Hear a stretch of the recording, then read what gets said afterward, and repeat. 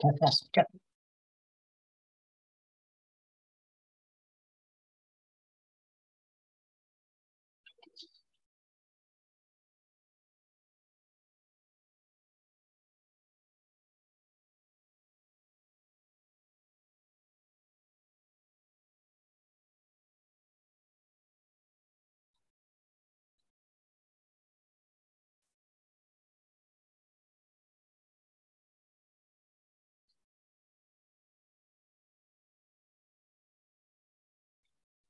Okay, I'm gonna go ahead and um, start here while I'm waiting to see if we'll get some people um, showing up for the help session. Um, so I did want to kind of go over assignment three today. Oh, there was an announcement. Um, we might be needing to change the format of these class sessions. So, so read that. Uh, if you have any questions, uh, go ahead and email me. Um, let me know. Um, so uh, let's see here. Oh, let me share my screen before I get going.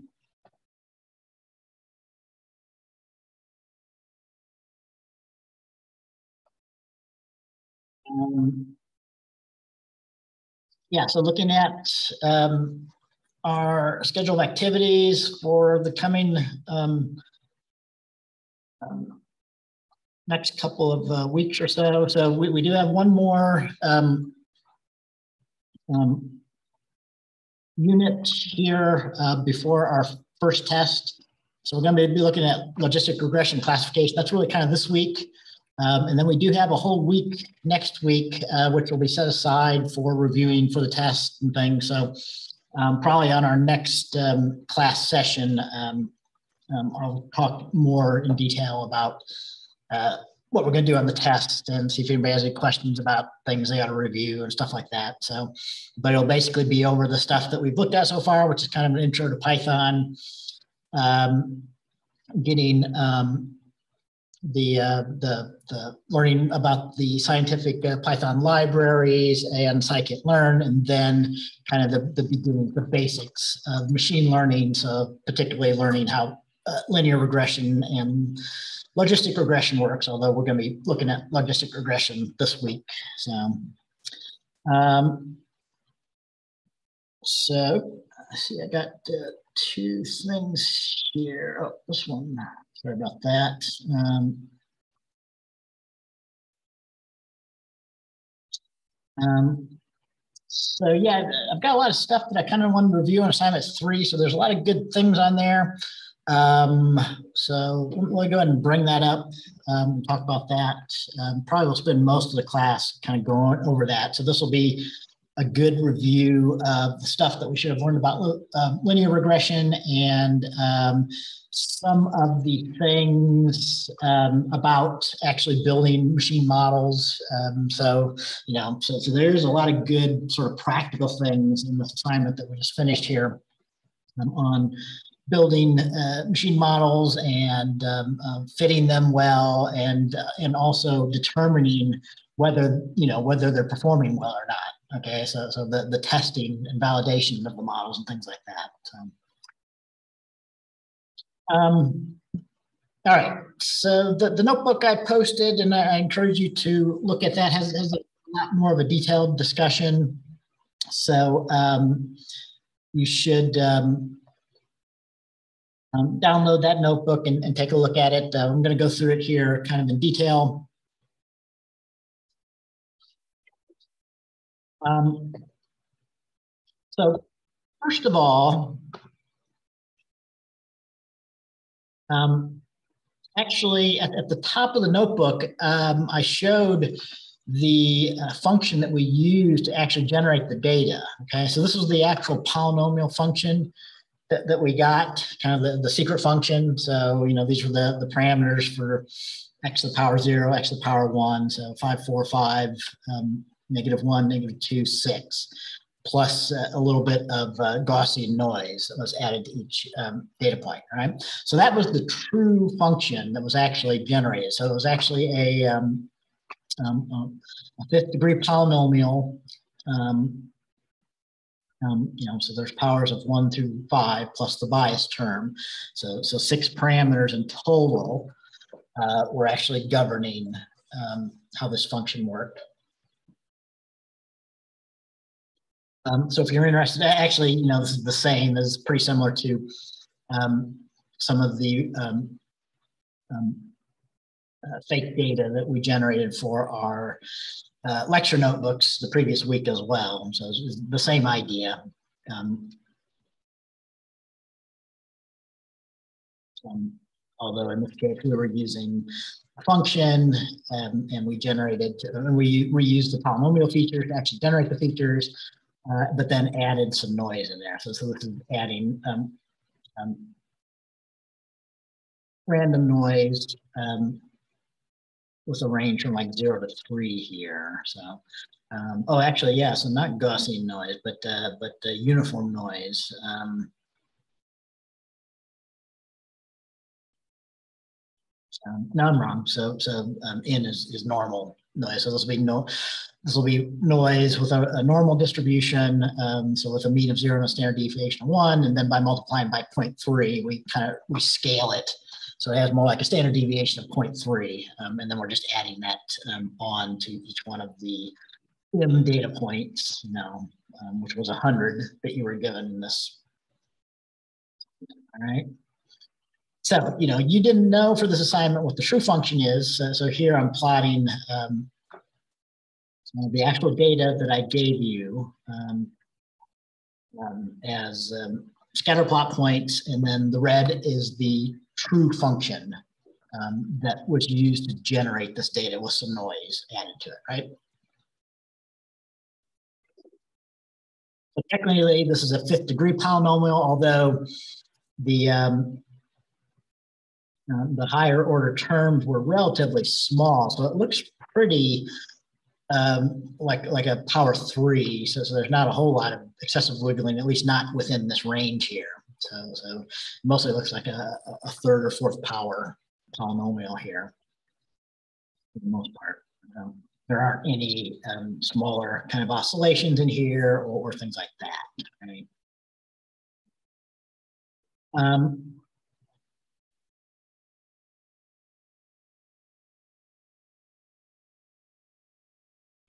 so I was looking, all I was looking for on part one you know, let's just load the data and, basically kind of do that that plot the same way there, right? So uh, maybe do a little bit of data exploration. So, you know, um, um, maybe describe the data. So in this case, you know, uh, description helps us kind of see the range of the data, you know, so it, it ranges um, from three to nine that we're trying to predict. Um, and uh, I mean, the, the, the values on input are going from, you know, basically negative one to one, or, or close to it, right?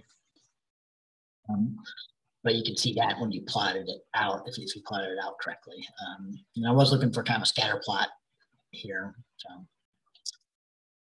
um,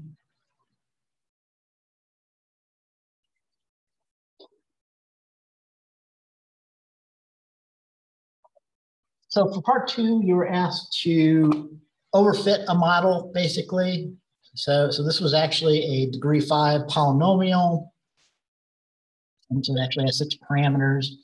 So if you over, if you fit a model with, with a degree 20, um, um, potentially, potentially overfit, although later on I'll talk about this, I probably should have had you fit an even, uh, even larger number of, of, degrees on the polynomial to get some true overfitting. Um, so I um, if I do this assignment again, I might uh, modify that so that we get some clear overfitting here. So, so anyway, if, if you did it um, with a degree 20 polynomial, um, it should look something like this.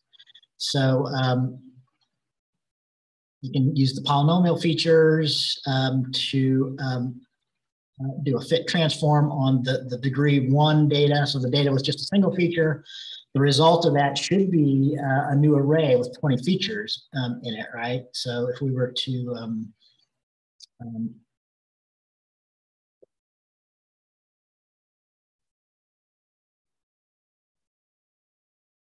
look at the, uh, the, the shape of that, um, go ahead and restart my kernel and just uh, rerun these one by one here. So.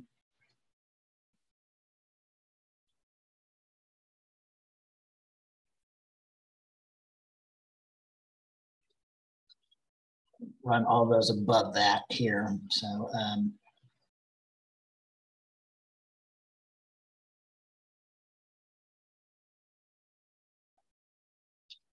So, um, so as, oops, misspelling on the name. There we go. So maybe, maybe it would have worked before. But, so, um, you know, the result of, of the polynomial features that, that I hope everybody understands after this assignment um, is um, that, uh, you know, we have the original 100 data points that had just um, a single um, um, uh, a single feature, right? So, so originally it was just uh, 100 by one column, basically. Um, so after doing the transform using one of these polynomial features, transformers, uh, we've now got 20 features. So we've got the, we should have the original feature, uh, which you can think of as x to the power one feature, um, plus we got x squared, x cubed, and so on, right? we talked a little bit about that um, in the lecture notebooks um, for the previous week. So.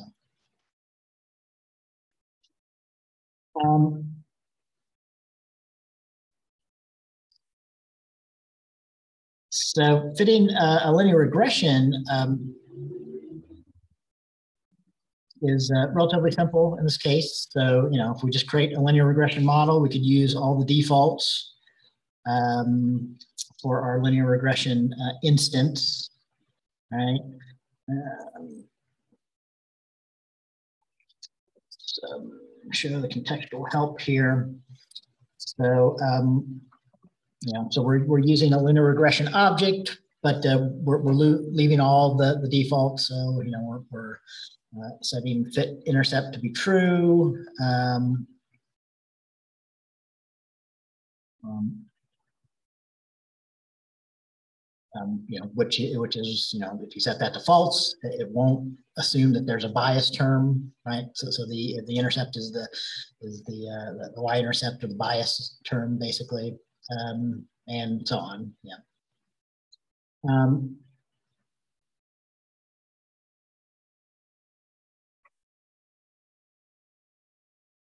So anyway, the, the, the fit for this part two should have been relatively easy. And, and if you did that, of course, you should have gotten a um, um, fitted model with uh, an intercept term and um, 20, 20 coefficients here, right? So, so the coefficients, you got, you got uh, uh, one coefficient for each one of the polynomial features, uh, plus a 21st coefficient for the intercept term in this case, right? We talked a little bit about why that is when, when we when we look at the very basics of how linear regression works. Um, right. So, you know, if you're fitting like a single feature, uh, if you think of that as fitting a line, um, so, so we're doing we're doing nonlinear um, regression here because we're we're adding in these uh, higher degree terms. But um, but go back and think about just having a single feature and fitting a line. So if you have a single feature, you end up with two parameters. You have to have the slope and the intercept to, um, um, to specify the line, which is basically your model of, of your fit of the data, right? So, you know, the same thing is, is happening conceptually here, but we had to have parameters for all of the 20 features and then one more for the intercept term. So, okay. um,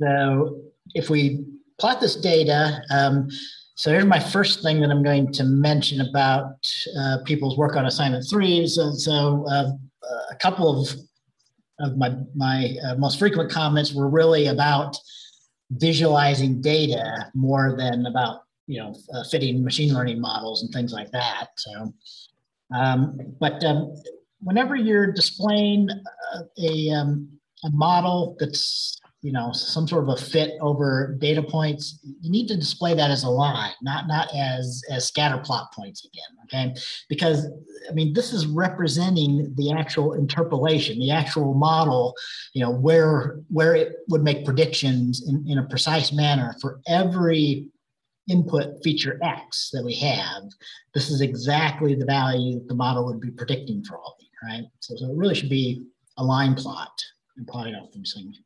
Another thing is um, um, later on, um, but you know, you, you really, I'll talk more about this later, but whenever you have a plot, make certain that you have good limits um, so that you can understand the data that's being plotted there, right? So um, um, in this case, you know, if you, if you don't specify your Y limits, because of the way my model is fitting, it makes it a little bit tougher to visualize what the data is doing because of the um, uh, the extreme um, um, sort of predictions the model makes for points way over here when x is close to one, right? So that can that can happen, you know. And, and again, you know that this is definitely a sign of overfitting, right? So um, um, this model probably wouldn't do too good for would be would you be doing particularly bad for points that are really close to one here? Might be doing okay most all the rest of the range, but right there is going to be really unpredicting, um, un, under uh, predicting what, what the real value should be for points over here close to one or right at one. So. Anyway, I mean, you know, the, the, the, general principle is understand your visualizations. You know, you're, you're trying to convey information whenever you're plotting data. So you need to make it so that, that the, the, the picture conveys the information that you want to hear. So, so by, by allowing this range to be so big, um, it makes it so that we can't really see the details uh, of the model fit that we have in here, right? And, you know, and maybe, you know, in my example solution, I, I probably should have also, you know, you should always really be labeling your axes and, and, um, and I should have had um, a legend here. So, so um, might have taken points off for people for not doing that. I should take some points off for myself on that. You know? So, so we really should, whenever you create plots, have your X label, um, although in this case, you know, it's really fake data. So really, you know, we don't have much to say about what the um, X and Y axes are, are representing here.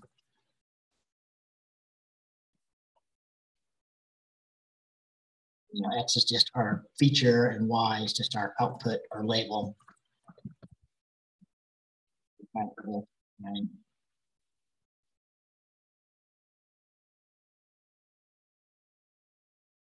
Um, uh, if I want to have a legend, uh, I need to um,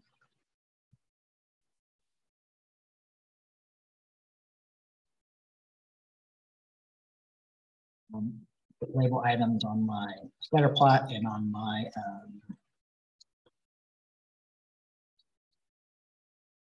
plot. Oh, um, yeah, I should have had some some handles if I would have put the legend move the plot up above.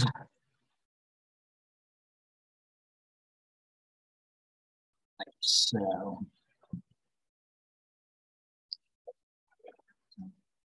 Um, so yeah, I actually did have a label on there, but I, I just forgot to call legend.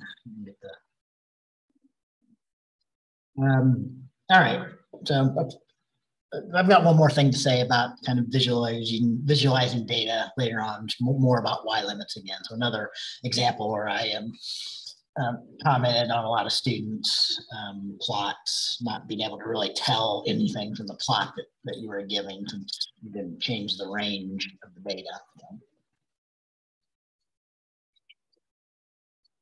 Um,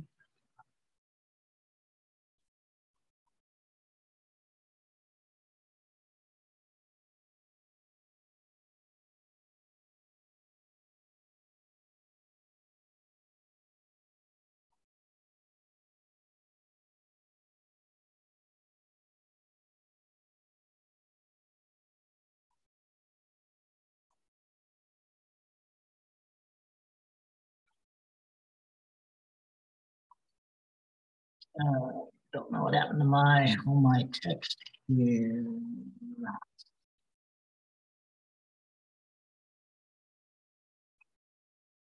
Um.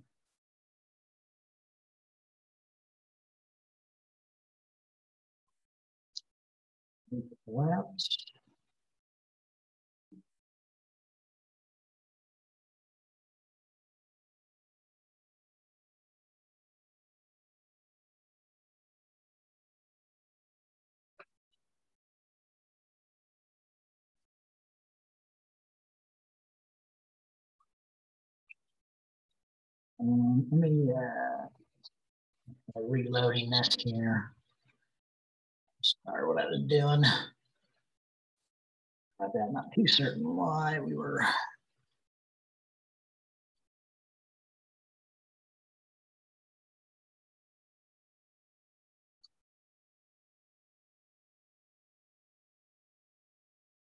Okay. Um,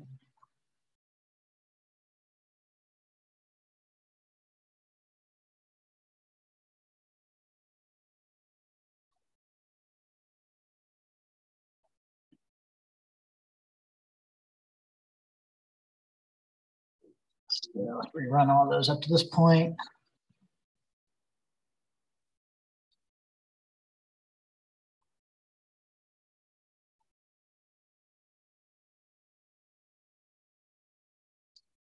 I'm not too certain what I did before. I must have done something that was just hiding the, hiding the, the text or something there. And um, uh, looks like it's still there, including my changes that uh, add in a legend to fix that and stuff. So, all right. Um, so for um, part three, then uh, we got into, we talked a little bit about um, how you test your models. Uh, so how you validate whether they are, you know, generalizing well and making good predictions, right? Um, so, you know, uh, uh, and again, this comes directly from the um, lecture notebook, so I didn't really have to do a whole lot, uh, just reuse some of the things um, on this particular assignment here. So in particular, you know, we're doing a type of cross-validation uh, when we plot these learning curves uh, here, um, where we uh, split up our data into data that we train it with, and then we test it on, on other data, although this is a, a, a slightly different kind of, of, of cross-validation in the plot learning curves. Um, you know, so, so we, we, we split it up into just one data point and test it on another 99 and then to two and test on the other 98 and so on, right? So that, that was kind of what we were doing. Um, uh, that, that's a, a one way of generating these learning curves like we talked about. Um, and there's another way that we'll later come across here. So, um,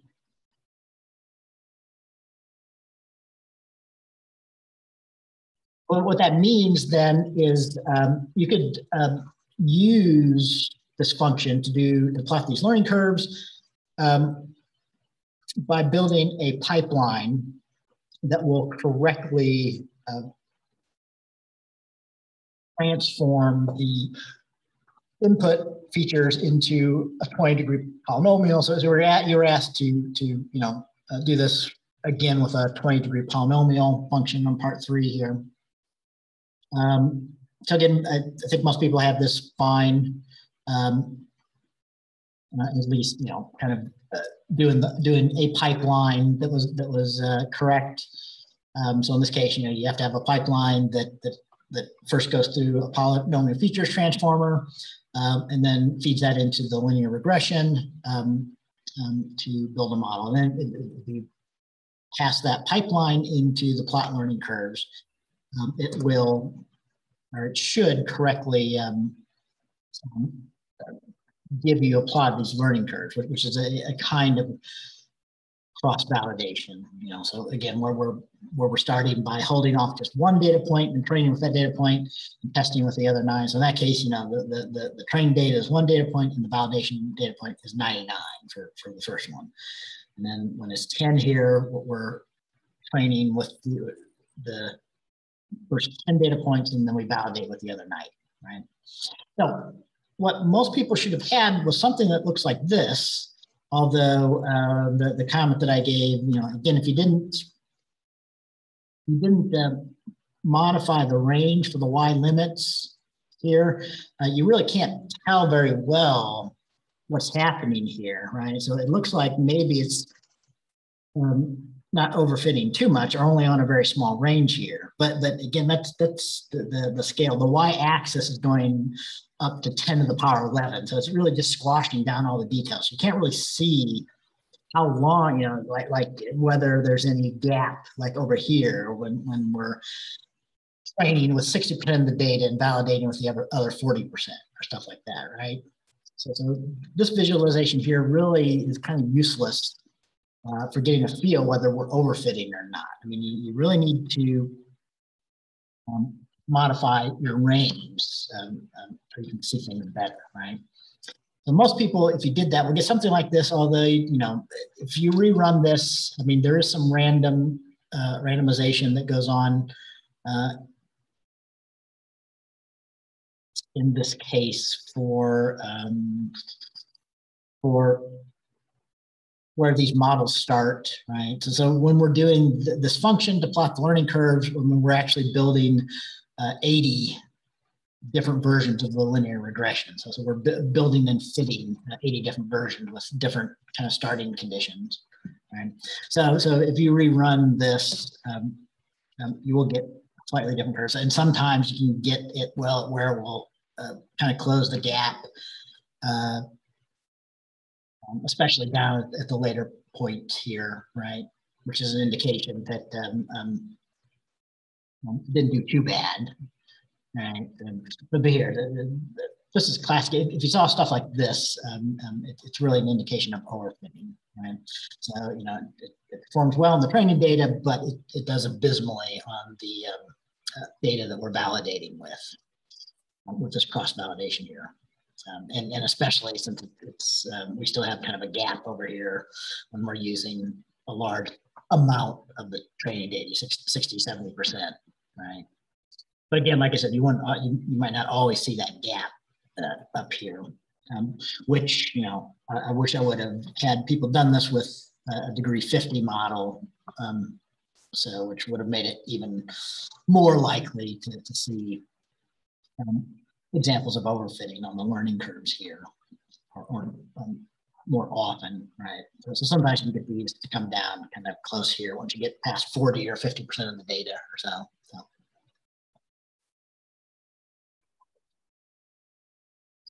Um,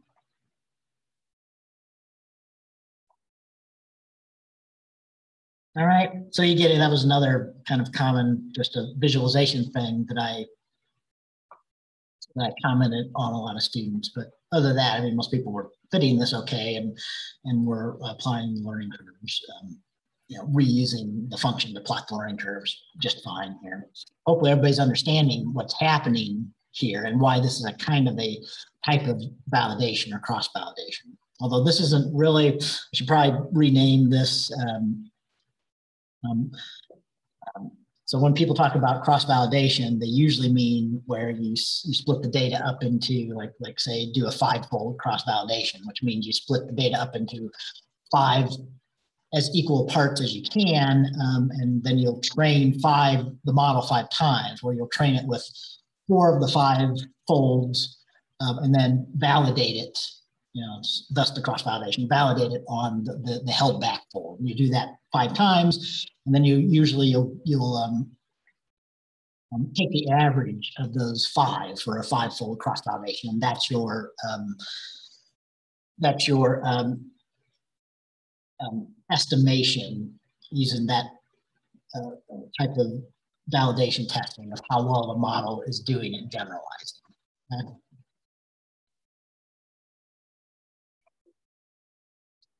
Um, all right, so I, that's that's what I was basically look, basically looking for on part three here, um, and that you kind of display out your coefficients. So again, probably should have been. I mean, most everybody, um, except for two or three people that were having some issues, not quite doing the fitting correctly here. Um, I think the most common issue is not really using the data quite right. So not using all the data set or um, sometimes not using the, the pipeline, creating the polynomial feature quite correct. Um, but but for most all the models that we fit here, you're going to get an R squared score of 0.97 or so. Um, probably should have should have had you guys plot out the the, the root mean squared error scores um, for all these as well. Okay. Um, and another thing I, I, should probably mention here because we'll, we'll, come up to it. Um, so um, inside of the function that I gave you, we we were um,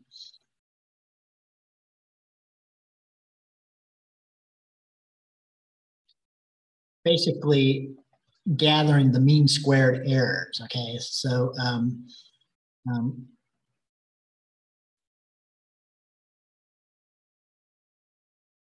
and then um, for some reason I can't quite remember on this function. I, I went ahead and took the square root of that. So, so it's really the root mean squared error. Okay.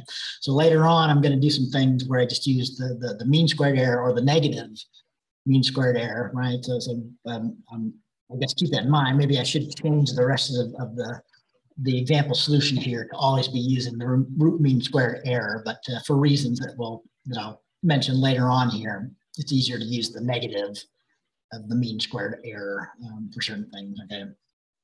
But um, one thing about this overfitting is, uh, so one valuable thing about this um, that I should have mentioned before I move on um, is you know making a perform making a note of the performance that you're getting. Okay, so so so the model's overfitting, uh, but we've got some evidence that we ought to be able to get something like a, a point uh, uh, three or so.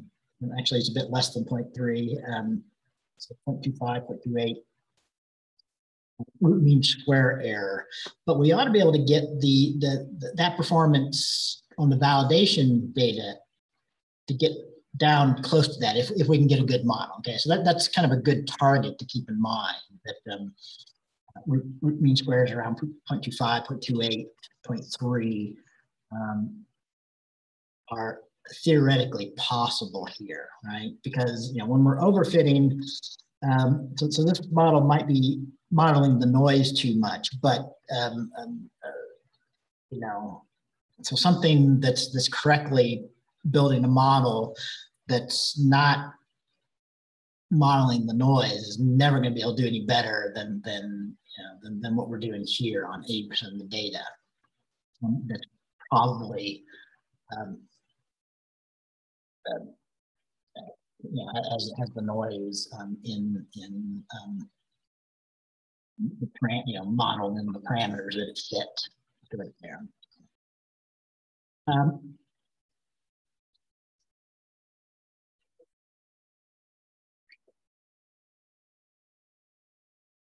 yeah, I, I, guess I discussed some of that stuff there here um, of this example solution. All right, so for the next two, uh, let's talk about regularization a bit. So, you know, um, um, this was kind of the topic of last week's uh, lecture materials and, and um, past materials. Regularization is a way to fight overfitting for a model. So it's, it's, a very common way. Um, and we talked about uh, L2 and L1 normalization, right? And the machine learning uh, actually kind of, in, this is really came from the people that were doing statistics before machine learning. Um, they called this ridge regularization for the L2 and the lasso regularization for the L1 kind of norm. And L2 and L1 norm is kind of from people that, from mathemat mathematics, uh, mathematicians, and kind of refer to those as L2 and L1 norms. A linear algebra um, thing there. So um, so I was kind of hoping that I would see, um, I probably should have uh, made this more of a requirement here, but, but I was I was hoping people would explore some tram, some some different values of alpha by hand and try and come up with uh, a feeling for what a good value of you know what a good amount of normalization is right? So so remember that the normalization is controlled by the amount by the alpha parameter okay so this can range from down to zero uh, which means have no regularization so, so if you use an alpha of zero basically you're just doing regular uh, uh, linear regression you're not using linear regularization but you can use values uh, up to one or two or even bigger right so so you can have values bigger than one for alpha, in which case you'll be putting more and more emphasis on keeping those parameters as small as possible. Right? Um, So the, the way to get kind of a feel, so, so what you want to do is find values for alpha that look like it's not overfitting, right? Another thing that, that I may or may not talk emphasized enough in our lecture materials last time is that um, if you don't if, if you don't have your alpha value high enough, um, you're going to see that your test your, your training um, curve so the learning curve will go up a lot higher than, than what we were seeing when we're overfitting here, right? So, so this might be a little bit too high because it actually does uh, end up with a RMSE of about 0.4 before it gets back down to close to what we were getting before there, right?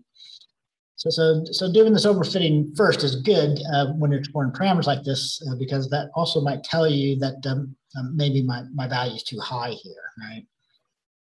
Um, so, um, so, so I just said it was maybe too high, but um, let's see, like, uh, like uh, what happens if we get like 1.1? Well, there, you know, I mean, it looks like we're overfitting still. I mean, at least until we get down to here. Plus, you know, we get that troublesome thing for the, the, the curve for the training data, you know, it goes up there and it never gets very good, you know, so even once we get to our 80% of the data for our uh, validation testing is still above 0.4 here, right? So, those are both indications that it's really too high. We, we, we probably want something lower. We, we want to get um, the, the, the, training curve here back down to that 0.25, 0.28 range, right? As well as uh, see if the validation um, will come back more quickly um, instead of having a big gap there, right? Um,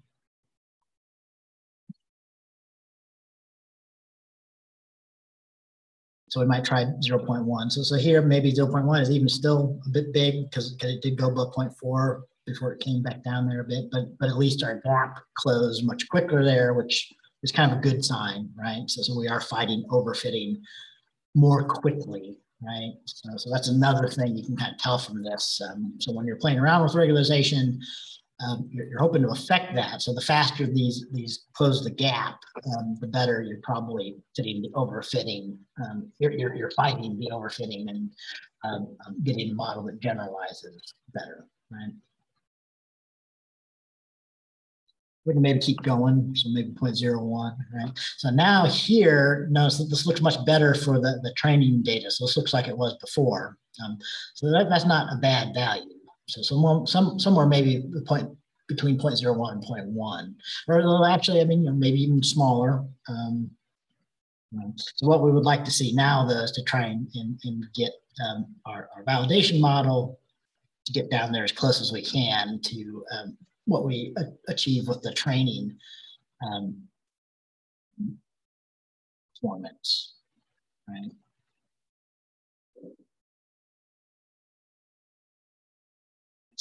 Um, so yeah.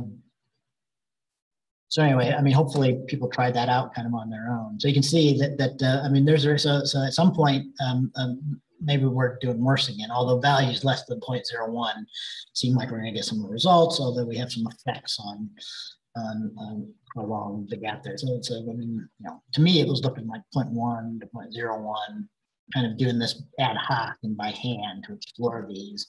Um, we're getting pretty good results.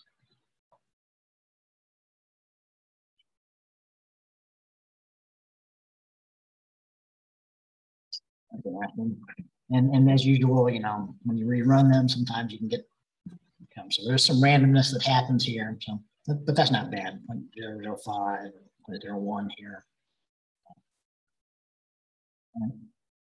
So notice now on our validation, so we're seeing now that, that we've got evidence that we can reach, you know, whatever that is. And again, maybe I, I should have um, had you guys um, print that out, not just the, the R2 score. So let's let's see what we're getting for those. Um, um, um so I did ask to, to, to, display the coefficients and things. Um,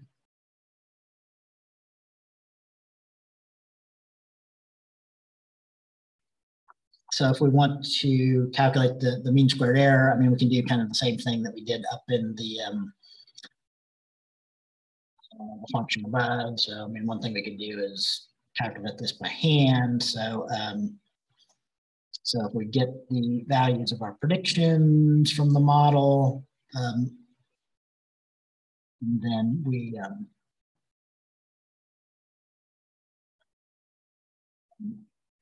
use the mean squared error function to, to um, calculate the mean squared error between our predictions and um, our actual labels, and then we can calculate those by hand, right? So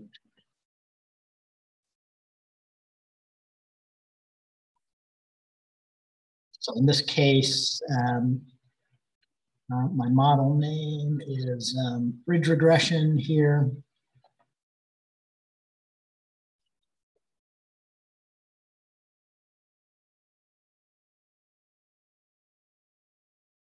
Um, I need to I just want to calculate one the mean square error here. So um,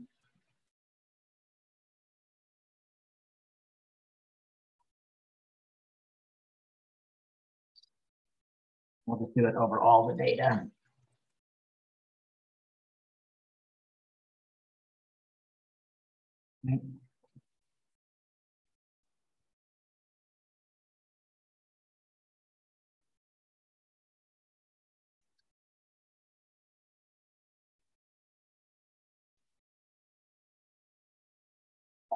Get that right. Mean square error. My quotes matched correctly.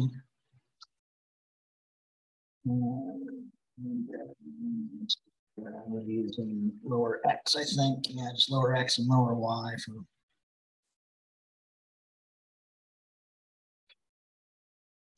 So, so yeah, we're reaching something like uh, 0.32 um, although again, yeah, I mean, this is a little unfair because now I've kind of peeked into the box. So the, the model that was trained um, at the end on 80% of the data, we now reused it on the, the whole data. So the 80% was trained with plus 20% that it wasn't trained with. So, so I guess that um, um, if I wanted to get what I was getting on the validation, since we were always using the last twenty uh, percent for the the validation. You know, the last the end of the array for the validation. We could just get the, the values from approximately eighty VMs and put a slice in there. Um, it should just be the the the, val, the the the data that we were validating with right at the very end here, I believe. Um,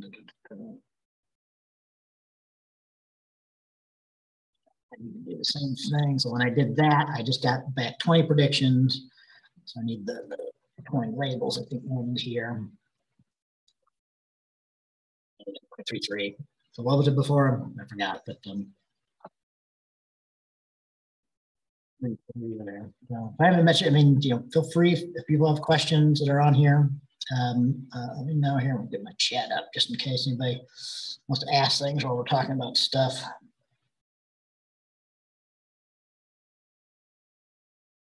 Sure I didn't miss anything here. Okay. Um, all right. So maybe something to keep in mind. So we had a, a root mean squared error, square error um, of about 0.33, which corresponds to the mean squared error of, you know, the, the square of that. So um,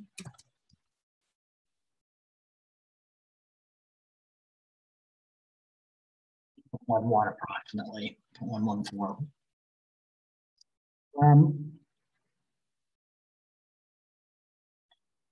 all right, so that's kind of an important, you know, so that was kind of what we achieved here with whatever my final value of alpha was for the regularization um, here. Remember the L2 norm, um, um, um, I mean, you can kind of see it by looking at the parameters. So it, it tends not to drive the parameters to zero. So, so we still have uh, some estimation for all 20 of the uh, features that we currently have in our 20 degree polynomial model that we're trying to fit to this data here, right?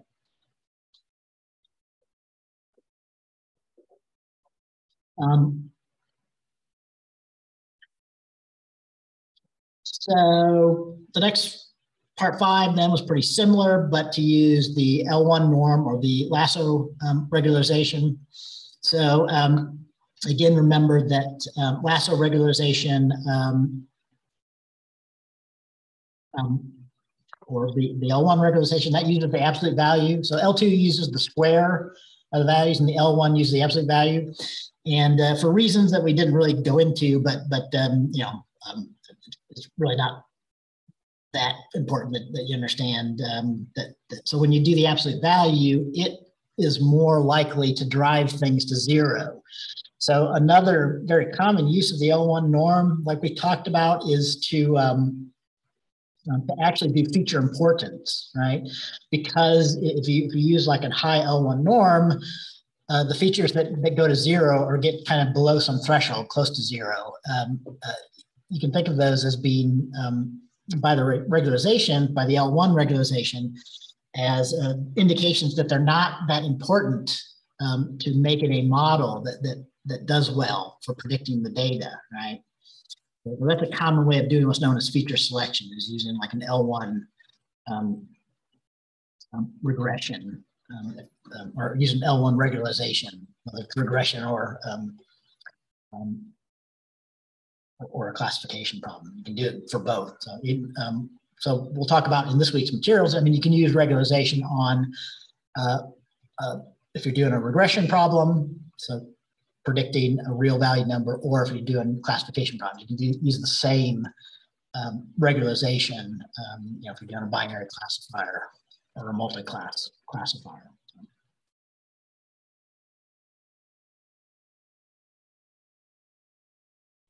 So, um, so again, you know, I, I, I wish I would have made it clear that I kind of wanted to see people trying to. I did. I mean, a few people did this, and, and very good for you if you did it. You know, so actually showed me um, some, say, ad hoc or even more systematic um, explorations of the alpha parameter space to, to, to try and get a, a, feel for what a good value might be of alpha for regularization. So in particular, I saw a few people, you know, do a little bit more of a more regular, a more systematic exploration of the alpha for the lasso regularization. So, for example, putting a loop in with different levels of, um, of, of alpha, um, and then maybe even having like a defining a threshold, um, and then finding which parameters were above and below that threshold to make estimates of, of how many parameters seem important you know, how, how many features you would select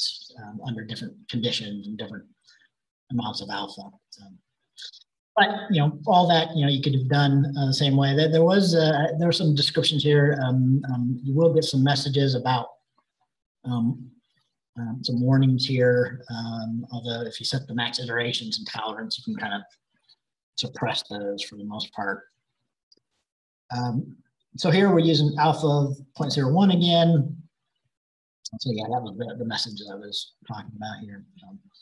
Uh, so anyway, yeah, that, that was again was a pretty good value um, that that uh, I saw here. Well, although, um, as I'll later describe, it turns out that um, at least in terms of looking at the learning curves, um, really using no L1 regularization tends to get the, the, the, the best performance. So, so, which means that just using regular linear, linear regression um,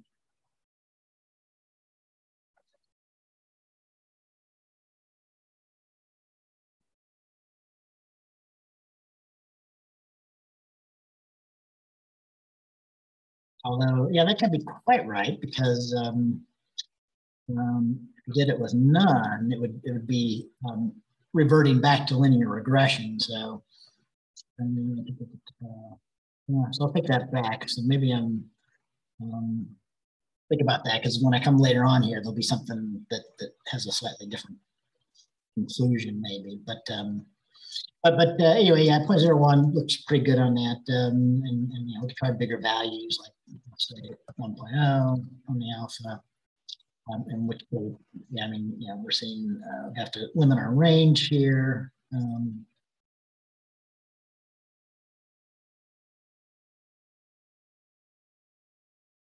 Now, in this case, the validation data, we were never, never, never able to see it. So that's way too big, right? So um, uh, maybe I need to get rid of this limitation to understand what's happening. So by, by um, limiting the Y range to, to zero to one, uh, everything must be happening above that. So we can't really see. So I'm gonna have to do that.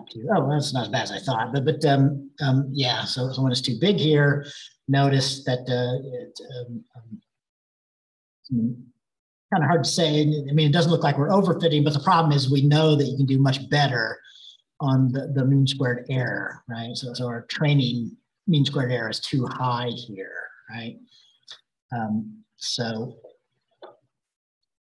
um, in, in this instance, the, the, the alpha is too high, and so we're not getting good performance for either the training or the validation data anywhere near the, what we know we could be getting uh, for this particular data here. So, um,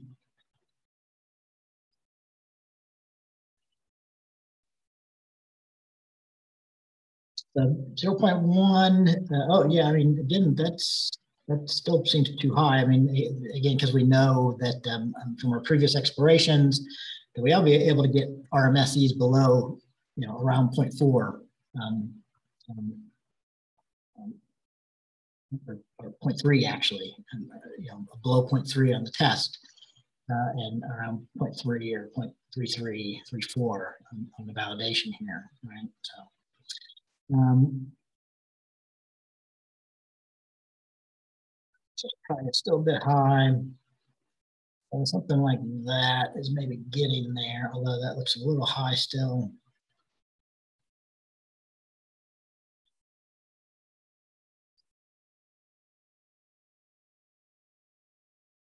There we go. So that might not be bad. So, uh, but um, another thing we can do though is, is, look at the effect on the parameters. So if we're just using this to uh, figure out um, feature selection, so figure out the importance of these features, in that case, we might want to use higher values of the um, alpha um, uh, you know, to try and drive these down closer to zero to get some feeling for which parameters might be important and which ones not um, in our um, degree 20 polynomial here. So, uh, let me see what I was getting. And we and and you know when you're doing ad hoc stuff like this or doing it by hand, you know, um,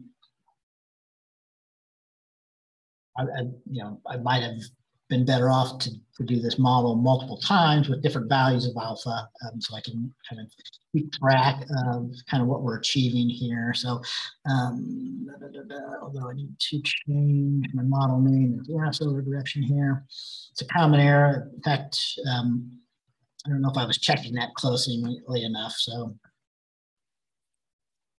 I was doing the same thing I was doing before, but I called my model lasso regression this time, so I should need that. Yeah. So yeah, this is getting a 0.36. This wasn't really doing quite as good as um, um, as we were doing there for the um, ridge regression, rig, ridge regularization.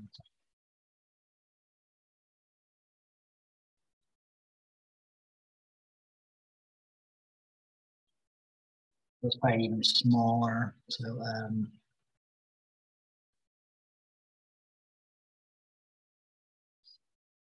Point three five, um, but but yeah. So I mean, in general, even though um, the learning curves might not, be, if you just look at the results for the um,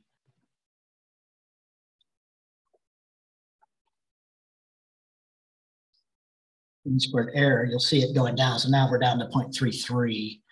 Um, um, we have a very small amount of alpha here. Uh, yeah, when you get it too small, you start getting um, the uh, convergence warnings. Um, let me just, I don't really want to deal with that right now. So let's, let's go back on this a bit.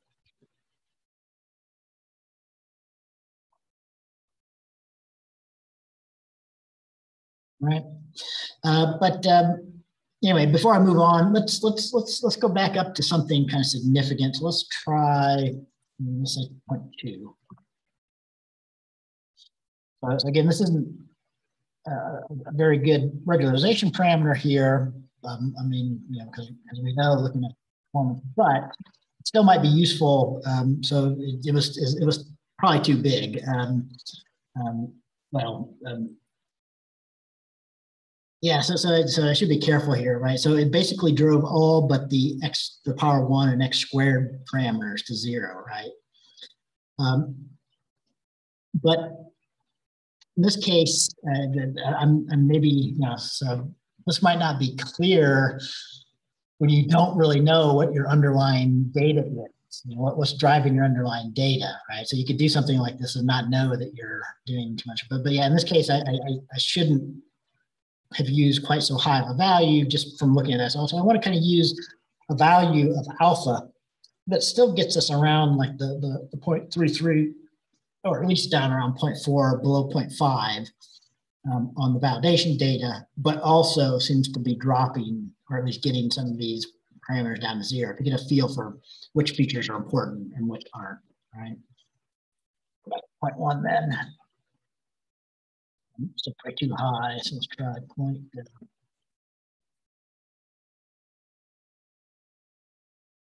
Let's look at that. So the, the point zero one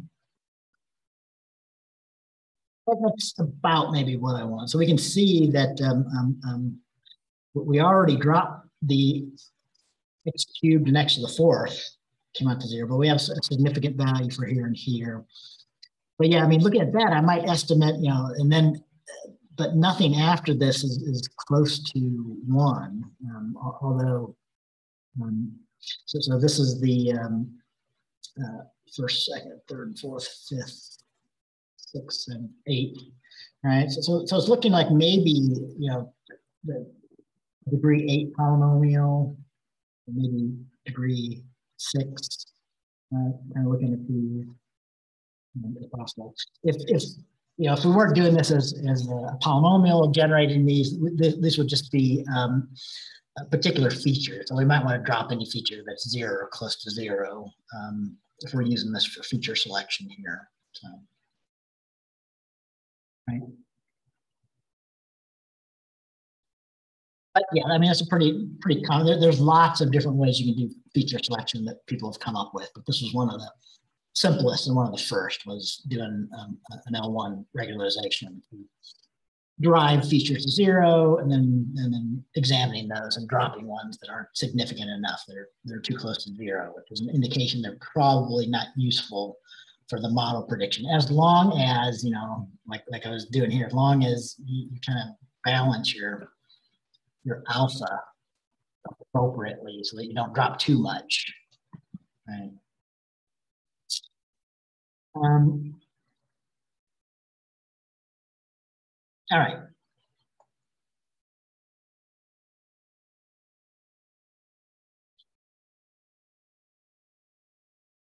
So that gets us to the last one here. So I kind of, I mean, what I wanted people to do is kind of like the stuff that I was talking about, especially for the part four and five, right? So, so from that, you know, we might have a feel that um, uh, when I later on ask here that, that, we might want to use like a degree eight polynomial or something like that, degree seven, um, you know, eight or six was what I kind of said from looking at, at so, so, let's maybe use degree eight and see what we can get. Uh, in my example notebook, I'd pick six. You know, um, doing this ad hoc like this, um, um, you may or may not, you know, um, have real good arguments or support for why you pick a particular thing. But you know, if we're being conservative, I could at least drop um, the um, you know, the, the, the parameters above 13 or something like that looking at this, but that's probably too much um, um, in this case here. Um,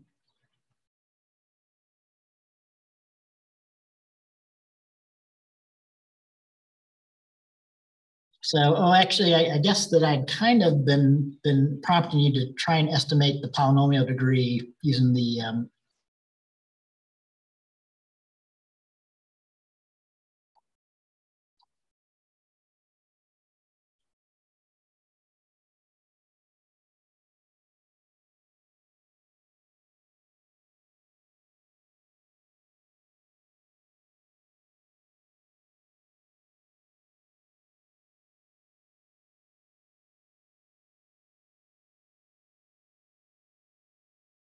Um, let's see, what was I saying on, on part six here? So um, um, you really should have been using the uh, L1 regularization. Did I do this wrong here? Or did kind of a bad example? Um,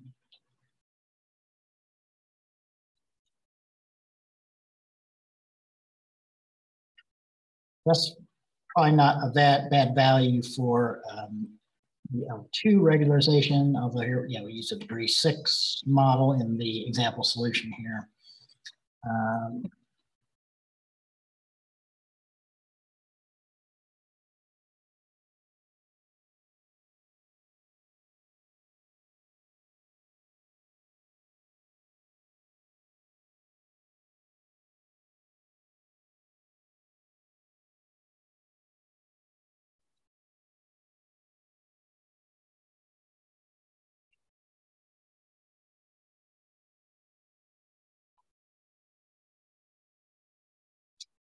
I don't know how I hid the hid the uh, stuff there again. Um,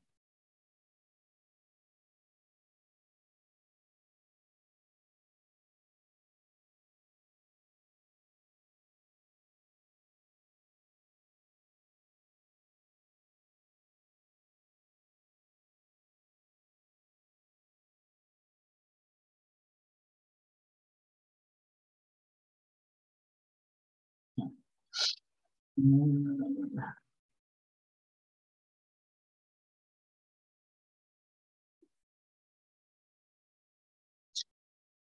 um, yeah, maybe I don't need that. Let, let's let me just do the rest of these here. So um,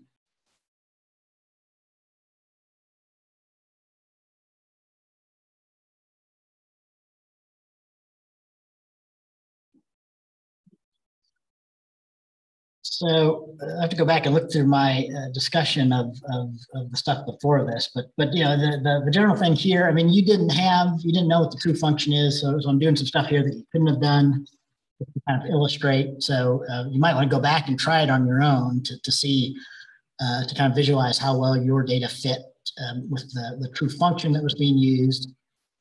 So um, again, all I'm, I'm plotting here was the uh, I guess the um, the degree six um, that we've done with the um, ridge regression and a little bit of alpha up here. So you can also compare the, the, the coefficients, right? So, um, so the true coefficients from the bias term up were five minus four, five, minus one, minus two, six, right? So you can see, so this would have been five minus four, five, minus one, minus two,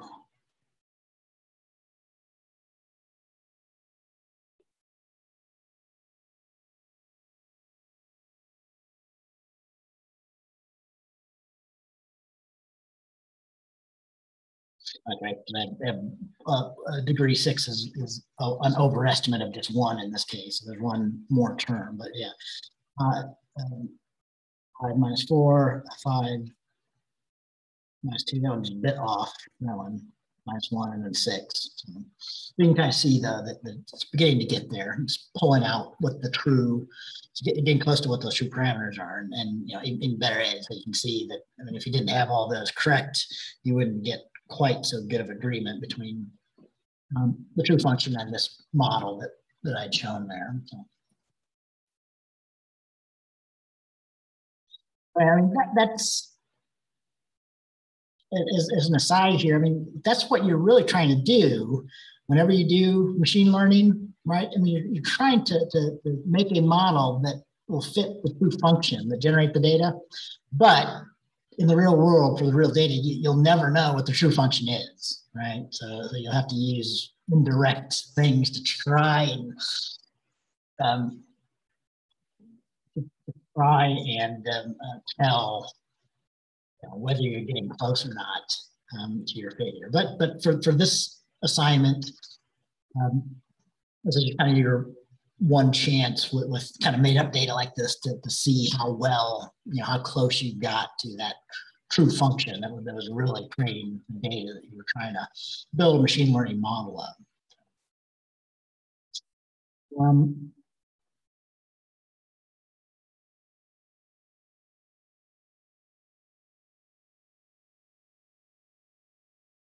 Oh, and uh, oh, I should I should probably also um, post this as well. So I mean, another test if, if I generate uh, some additional data um, using that that generation function. So, so a good thing to do also on your model, you, if you don't want to go back and replot it, but see what um, the uh, root mean square error that you're getting on this additional test data. So this data you never had. So there's no way it could have been um, there's no way it could have been, um, you know, influencing the, the model choices that you were making to try and fit your model um, to, to the 100 data points that you were given. This, this is a good test, seeing what uh, R, what, what root mean squared error you can achieve um, on this completely unseen test data, right? For that model that I kind of had in my um, first part of the example solution, I was getting about a 0.30 for the root mean square error on this data here. 029. So. Um, and some more examples here. So, you know, if you had determined that, uh, that, maybe it was degree three model, um, we could have create, created a model um, still using some L2 regression, um, but uh, but this is a little bit underpowered, right? Um, so yeah, I mean, in this case, I mean, you ought to be able to kind of tell that because our, our result for our validation is above the 0.4 there on, on the root mean squared error. Um, and, you know, indeed, if you plot that out on the test data um, for the degree three model, you get quite a, a significant reduction in um, accuracy um, on your test data with that model. Like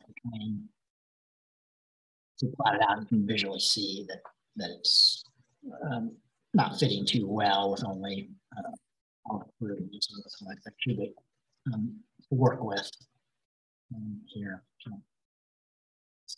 Um, but yeah, I mean, in general, you know, so we're, we're probably, or, or, I'm probably letting the uh, information because I, I, tried as much as possible to to ignore what I knew about how the test data was was generated. Um, but you know, even so, I might have still made too good of a guess of of what the number of features were, right? Um, so it usually is much more common um, if you really don't know what your model is or which features are important, to leave it a bit potentially overpowered, um, and then you know to try and tune your regularization correctly. Um, right? So, you know, just as an example, if we use a degree 10 model um, with no regularization, um, this might be overfitting a bit, although our final result looks fine here. Um, looking at the final root mean squared error. Um, and then again, we get back to the, the 0.33, right? So, so, we were getting about what we were getting for um, uh, the first one that I, um, oh no, that's not quite right. So yeah, we were getting 0.30. So, so one quite doing as good as that one uh, here on our completely new test data. Um, function looks pretty pretty good, except for maybe down here at some of the extremes. That's a common thing on models like this, that the, um, um, you get real problems on the extreme ends.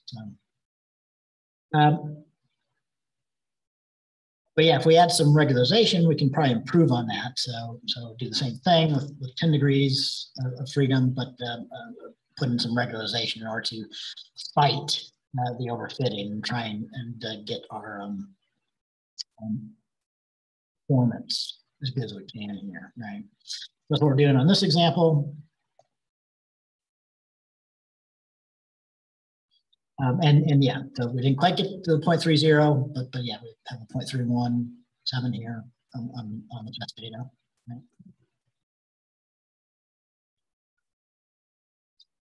Um,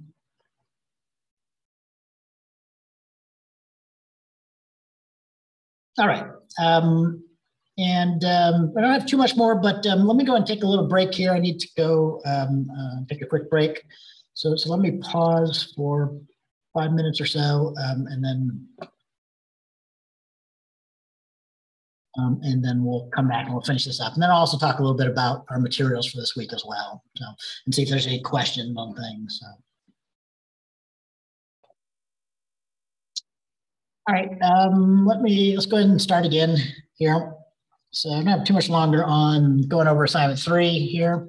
Um, you know, as usual, if you shout out any questions or chat out any questions if you have them about things, if you want to know more about this stuff. Um, um, this wasn't part of the assignment, so this is really kind of more new material here. But I wanted to, that this is a good place to review this. So right after you did the assignment, you might now understand why you might want to have the ability to more systematically um, explore like meta parameters for a machine learning model, like our ridge, like the alpha for the ridge regression or, or whatever, right? Um, uh, because uh, those are the things that are most directly affecting how well our model is going to perform um, uh, on this assignment, right? So for other machine learning methods, we'll look at, at uh, I mean, there'll, there'll, be a lot more other meta parameters in addition to things like regularization parameters and stuff like that. So but, uh, um, this is kind of a general concept. And uh, the scikit-learn framework has things for um, doing this in a more systematic way.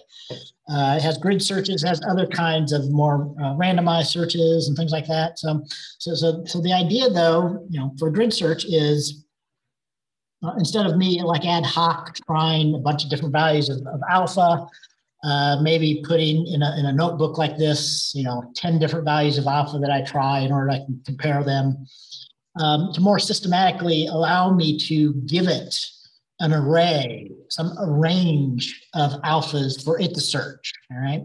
So the basic way that, that a grid search works, um, we're gonna be using a grid search cross-validation.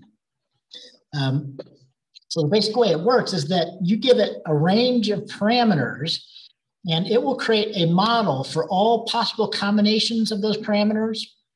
Um, and it will, it will create a model and it will train it using uh, cross-validation. So in this case, it's going to be training it using fivefold cross-validation in, in, all the examples here. Um, and then, you know, and it will figure out how well each model it trains does um, on that particular combination of uh, metaparameters that it was using, right? And it will, it will take the average of the five uh, cross-validation uh, training folds that we do here, all right, in this case, or the average of however many folds that you do, right?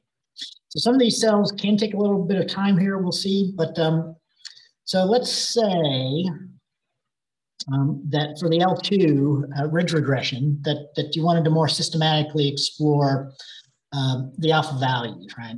And we saw, um, um, um, in case in case you don't know what I'm doing here, um, log space works kind of like linear space but it creates a, a, a, set of values that are spaced in, in a logarithmic space, okay? And the first two parameters aren't like the, the begin and end value. These are the, the begin and in index for, for 10 to the power of that particular thing. So this is gonna give me values uh, in the log space from 10 to the minus eight, so very small, up to 10 to the zero, which is one, right? So we already saw for ridge regression that, that values above one uh, didn't work very well. Um, um, and we were finding, if I remember right, you know, values around 0.1 or was it 0.1 or 0.01? I'm not going to scroll back up. Um, uh, we're working well here, but um, um, so just to make certain that you understand what's what's happening here. So alphas is just a NumPy array. Um, so so the first one is going to be 10 to the minus eight. Uh, and then, the, then that, this, in this case, it creates 10 values that range from 10 to the minus 8 up to 1. And they're spaced, they're not spaced linearly, they're, they're spaced logarithmically uh, in the space here. And this, is, this is common when we need to, to search a large range of values to space them out logarithmic over there. So we get a good sampling for different, um, um, how do you say, for, for different um, uh, magnitudes, possible magnitudes here. So, we're going to get, get a good sampling for different mag magnitudes of values from that range. So it's a pretty small up to one here in this case, we're, we're, we're creating an array of, of a thousand values, right? So um, that means that when, when we run the grid search cross validation, it's actually going to run a thousand cross validations. It's going to create and train a thousand models. It's actually going to create and train a thousand models uh, five times each. So it's going to do 5,000 training runs in this case. Um, where you know it does the the, the hold hold back one, train with four fifths of the data, uh, and then evaluate it on the one fifth held back. So we'll get five trains for each one of these values of alpha that we pass in here, um, and it will it will remember the the the mean uh, performance that it got. Okay. Oh, and and we're using the native mean squared here uh, because um, grid search for some reason that I'm not 100% certain on. I didn't didn't take the time to Google it, but it it, it only optimizes. It only it only finds the maximum, right? So you have to give it scoring parameters that where the, the largest value in the scoring um, measure that you give it uh, is the best, right? So, so, normally when we've been using the root, root mean square error, we've been trying to minimize it, right? The smallest root mean squared error was the best um, performer. Um, but because of the way grid search works, we have to give it something that we're trying to maximize um, for the optimization. So we can just, we can use the mean squared error, but we just take the negative of that. Okay, so in that case, the smallest, when you take the, the smallest mean squared error, when you take the negative of it, will become the largest. Right. Um, so by passing that in as the scoring function, um, it basically runs, instead of running the mean squared error, it runs the negative mean squared error function. Um, you know, so it trains the model, finds the predictions on the model for the um, um held back fold, calculates the negative mean squared error, um, and it records that. Um,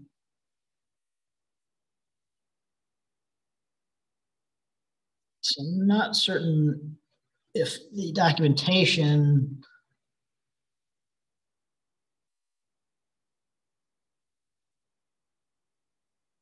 So these are the different kinds of scoring that you can use. Um, uh, we have to look for the scoring parameter. You can, try and um, score it using your own made up metrics or things like that. Uh, let's see here, where is this scoring parameter references at the bottom?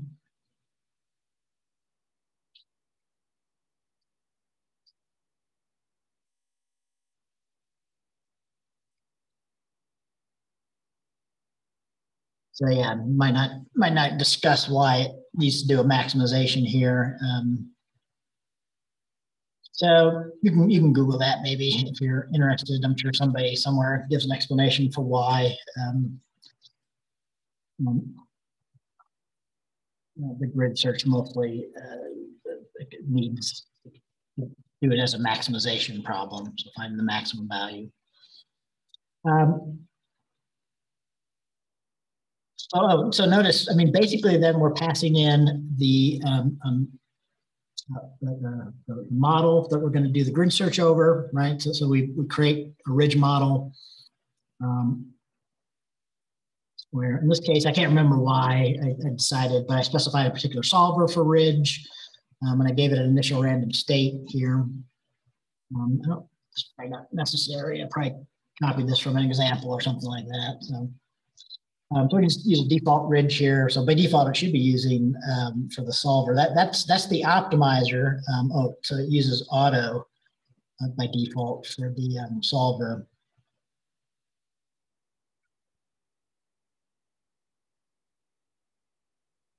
Yeah, let's leave it at auto there. So, and notice then we pass in this, the, the parameters has to be a dictionary uh, and the dictionary, that the keys have to be keys. The, the keys have to correspond to um, a parameter name. So in this case, you know, the, the parameter name is alpha. So if we use the key alpha, it's gonna it's gonna search, you know, it's gonna do the grid search using all these different values of alphas that we pass in as the array, you know, in the grid search. Okay, hopefully that makes sense. That's what the parameter is. And, and as we'll see here in a bit, I mean, you can pass in multiple parameters for the grid search here, right? So, so I could have a second. I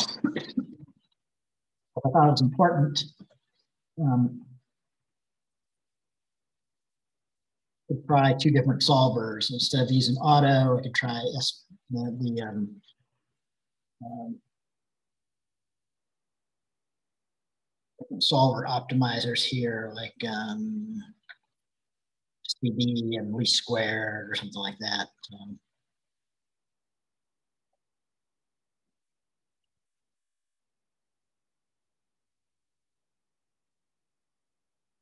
and so that's an example. Uh, we'll, we'll get another example of that later. I'm gonna I'm not gonna do that right now. So that's what's happening there, right? Um, and then these others are um, parameters for the grid search object itself. So how many cross-validation folds to do um, and what scoring mechanism to do to evaluate and compare all the different models that we're going to build um, in this grid search here. All right. Um, and then, yeah, so this is, I mean, grid search is a fit transformer. So by doing the fit um, and passing in um, a set of data, so we'll pass in um, our 20 degree polynomial data again with the, the Y labels. But in this case, we're, we're passing in all 100 data points as inputs and all 100 labels, right? So we'll do the cross validation by splitting it into 80, 20, um, five times. Um, what it does this here. What you'll see is that um, uh, once you do the, um, the, the fit transform here, there's lots of things that you can call then on, on a fit um, grid search object. Um, but and so I'll just show some of them. So the most common. Um, oh, and some of these might take some time here. So um, especially in our last one, I might not be able to wait here. So, um, so I mean, there, there, was a thousand alphas that we went through there, but it didn't take that long, right? So notice it found, um, so yeah, I think the, the one that I kind of had found by hand was 0.01 or something above here. Um, um, so notice, so, so the best params that it found was an alpha value of close to 0.01, so 0.009, right? And that came up with uh, the, the, score is our negative root mean squared error, right? So that's the negative 0.01. So again, remember that that's the negative, that's the, the root mean squared error. So, you know, if you want to compare that to what we were using before, the, uh, I'm sorry, that, that's the negative mean squared error, right? It's not the root mean squared error. So if I want to compare that to what we had before, I'd have to um, negative and um, um, then the square root of that. So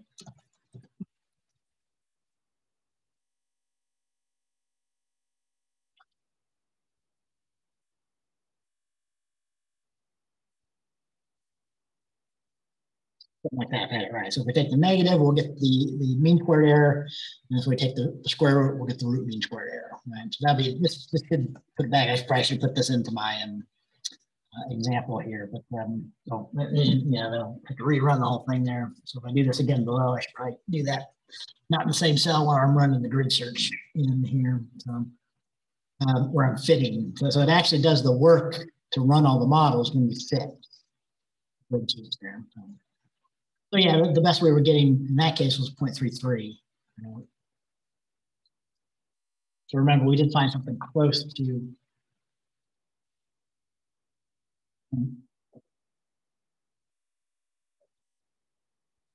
I'm gonna go back up and look at that here, remind myself. So um, an example solution here. Um,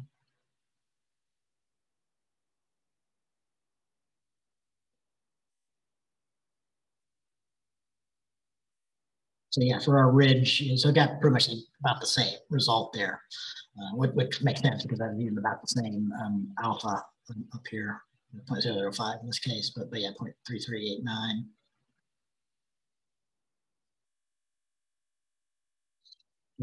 Point three three eight, point three three seven is the best that we've really seen so far. Um,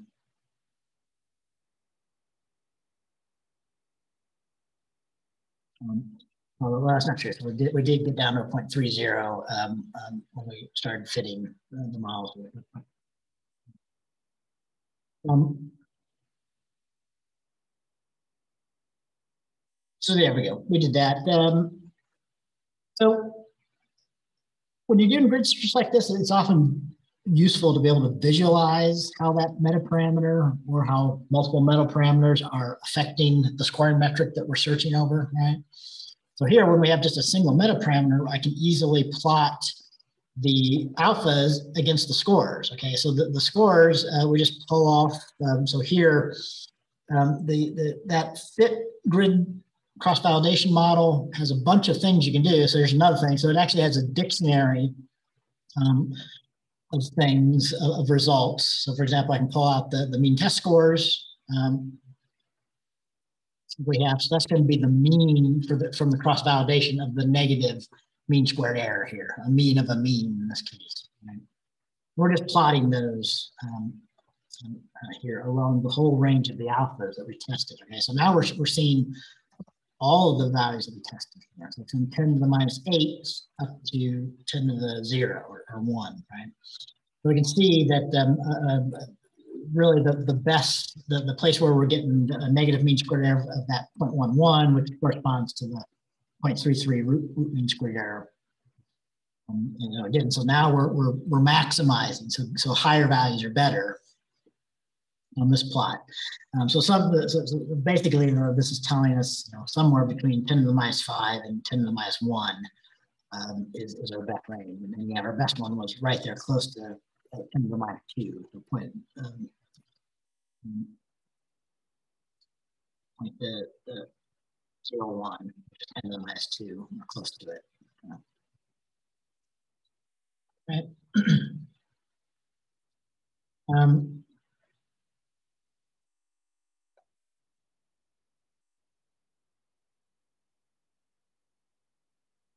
for some reason that I'm not too certain of, uh, Ridge cross validation uh, actually allows you to do that grid search directly just with the Ridge uh, CV object, right? So you can pass it, instead of passing an alpha, you can pass in alphas, so a range of alphas. Um, and it's essentially doing the same thing. You can also pass in cross validation. I mean, I, I think it does that because uh, uh, uh Ridge and um, I assume that maybe Lasso does this as well, kind of has a built-in for doing a, a, grid search over the alphas. And so it's a very common thing. I mean, that's that's the thing that you're often most wanting to, to know about is kind of what the best amount of regularization is if I'm doing Lasso or ridge regression. So we've gotten basically about the same result there. We did get this exactly the same, looks like. So. Um, all right, so we do the same thing with the L1. So maybe I'll just kind of go through this here. Um, um, so here, again, we're doing it from 10 to the minus 8 to 10 to the 0. Um, and 1,000 values of alphas. Remember, before I, I mentioned that it looked like um, for the uh, L1 norm, the regression, but the, that basically uh, it was performing best when we didn't use any um, or very small values. Um, and in fact, you know, that's what that is. So it's a message, but whenever you get back that the best that you find on a grid search is one end of your range or the other, uh, it might mean that, uh, you know, you need to you need to do it again, but, but extend your range down, uh, you know, even further below. But in this case, um, I mean, it's pretty much telling us that um, like we try 10 to the minus 15, we just get 10 to the minus 15 um, again. So it's telling us that the lasso um, regression doesn't seem to be doing much for us. And then back we get the 0.166 here, uh, data 0.166, right?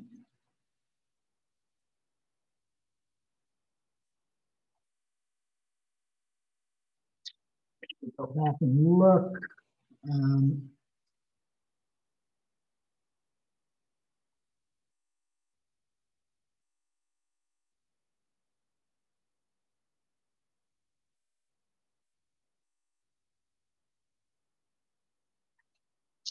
is, I might have to go back and check that because that might not be consistent with what I was seeing when I was trying to do it by hand.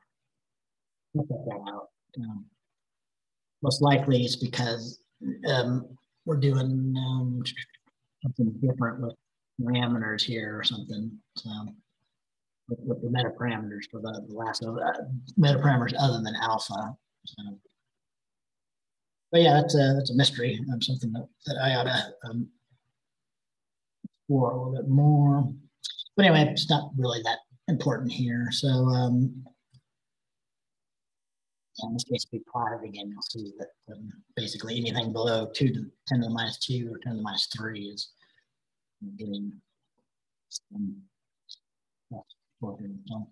so um, what we might really be interested in on this problem is to more systematically determine the number of, of, of the, the, the, polynomial degree, okay? So, so the, the, the features um, that are best um, to use for fitting good models for, the, for this data. Um, so this is a little bit more advanced example, but to do that, uh, we, we have to write kind of a helper function that will create pipelines because we want to do a grid search. Uh, we want to pass in uh, parameters. So in this case, we're going to pass in parameters for degrees two up to 100. Okay, so I'm, I'm actually going to search uh, polynomial functions whose degrees range from 2 to 100, right? Now, I, I make up um, of this, so notice here, uh, there's two underscores here. So whenever you're using a pipeline for a grid search, you can actually send in parameters into the grid search for different parts of the pipeline. So my pipeline has two things, the, the polynomial features and the actual linear regression object. Right? In this case, we're not doing any um, mean regularization. We're just going to for polynomial degrees, right, from two to 100, right? But when you have a pipeline, uh, I can still grid search over different metaparameters for different parts of the pipeline with this kind of trick, okay? So, and I think it normally works like this. So if you have objects, normally we use camel case for the object names in scikit-learn, but um, um, here, like, like it shows, um, you, you should just transform that to all lowercase. Pick out the, the named object in the pipeline, then you have to have two underscores, and then you use the parameter name. So in this case, um, polynomial features, uh, we want to set the degree to be the particular degree in the grid search, right? Um, And as we'll see, I mean, we can also do things. Um, so later on um, in this example, we will also uh, do both the degree of the polynomial and do some regularization on alpha, right? So it passes in both at the same time simultaneously on a grid search. Um, all right, and if we do that, but otherwise it would about the same as we did before. So we use the negative mean squared error with a five-fold cross-validation.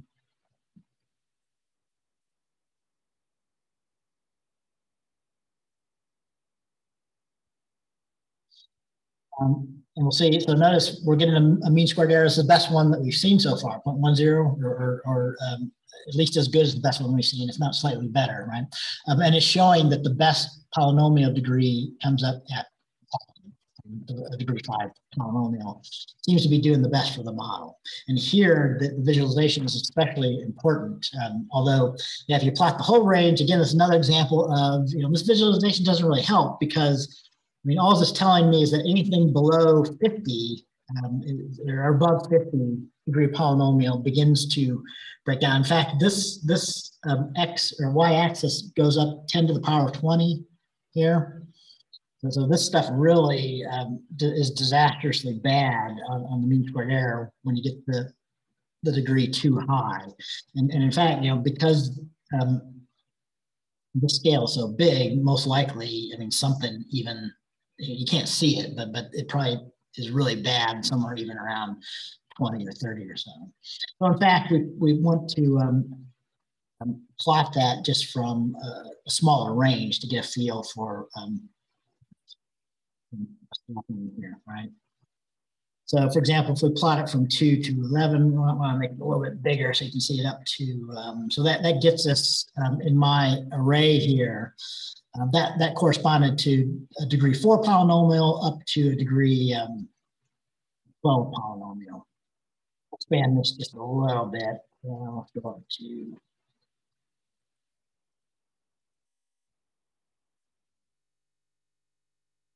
maybe even a bit higher. So,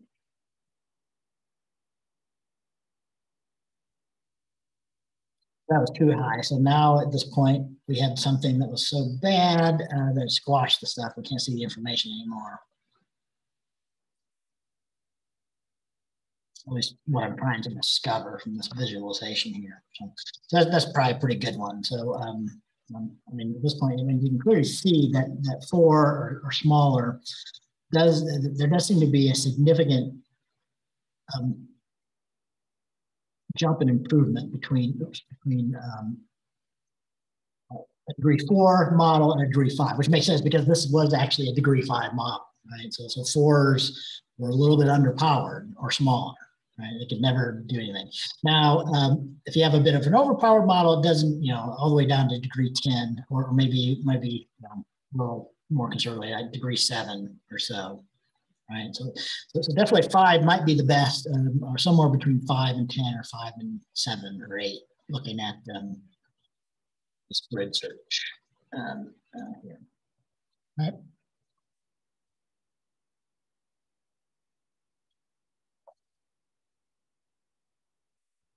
So, um, so as the final example here, I want to wrap up, um, although I'm probably going to um, uh, the, the cell could take, well, I mean, you know, maybe a minute or two to run here because this is an example of doing a grid search over multiple parameters. Okay, so we're going to, to look at all degrees from 2 to 40 for the polynomial, but we're going to do some um, ridge regression. So um, we're going to see that, that maybe a slightly higher powered model, but adding in some regression. So we'll, we'll put in some alpha uh, 10 to the minus 8 to 10 to the minus 1. Okay?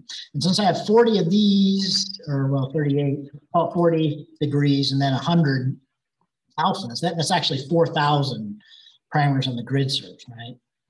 Uh, and then if I add in, if, I, if, if, for some reason I want to check different solvers to see if that made a difference, I added in like six possible solvers. So alpha and solver are um, meta parameters for the ridge object of the um, of this pipeline that we're going to be using in this grid search. So we use ridge underscore underscore alpha uh, for the grid search parameters for that one, and ridge underscore underscore solver for those parameters. Um, and then, you know, the name of this first transformer in the pipeline is polynomial feature, so we use polynomial feature underscore underscore degree for that parameter. So this would actually make it up to 24,000 models each each model doing a five-fold cross validation. So multiply that by five again, right? Um, but uh, you don't really get much of a boost from using a different solver. So let me go ahead and I'll just do it with the um, 4,000 here. I can put two on, I think. Um, oh, already. That'll take a little bit of time. Oh yeah, okay, yeah, but yeah, it doesn't actually do it until we, we do the fits. It doesn't actually do all the cross validations until we, we, we fit our model with our data. Um, so it's what, 30 seconds or so here. My machine, uh, my, my machine's pretty beefy, um, so could take a little more significant time on your machine, but I wouldn't expect it to take more than a few minutes or so. Most people's desktops or laptops. You know, so. it's still following the polynomial uh, of degree five as the best model with um, about a 0.005 um, um, alpha using ridge regression here. Right. So that corresponds to about 0.3011 for the root mean squared error. Here which I believe is probably the best, although it's marginally better than some of the stuff that we found by hand. But it's, it's as good, if not the, the best, slightly than anything else um, I show in this notebook here. So.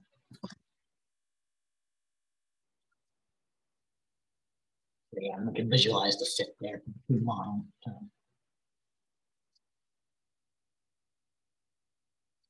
All right. So anyway, we'll, we'll probably be seeing more examples of that, using more of that. So, you know, it takes, um, um, grid searches are pretty powerful. So, so once you understand them, um, you'll be using them a lot, especially for for kind of standard machine learning model, because so it's very common that um, I know I want to try a particular model, but um, um, I need to do some exploration of different meta parameters of the model um, to get a feel for what's going to work to, to, for my model to perform well, right? The grid search with cross validation is, is you know kind of pretty standard um, approach to doing that. All right, anybody want to ask any questions? Still with me here?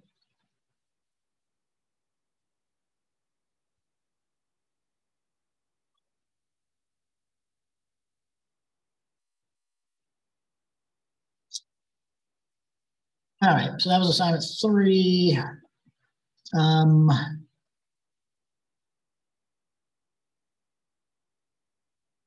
so I think I already mentioned at the beginning, but but uh, people hadn't really joined me yet. Um, so so we are we do have kind of one more week of materials here. So we're going to go and look at um, classification in more detail. So so using um, instead of linear regression or you know uh, linear regression with regularization. Now we're looking at logistic regression, which we've mentioned before um, is a confusing name because um, this is our most this is our simplest mechanism for doing classification problems. Okay. So for this week seven material, we we jump to looking at um, um, uh, how classification works, right? Um, although this is still the, the chapter four from our um, hand-on machine learning. Um, um, here. Um, all right. Oh, and there's a lots of good things from the Dr. Ng's um, um, class um, that, that we're touching on with the logistic regression stuff here. So I also encourage you to go and look at his videos as well.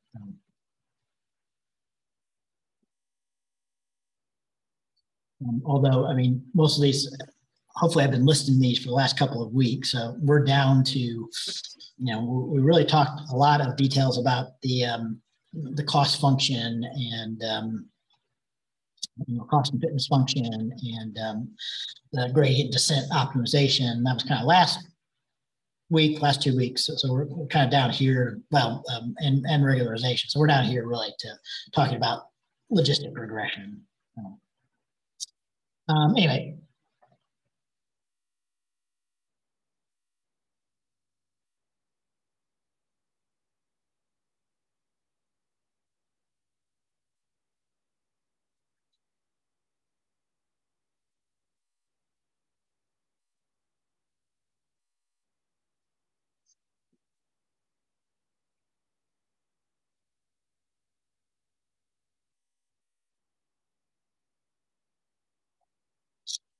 So just rerun all the cells.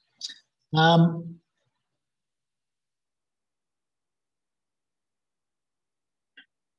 so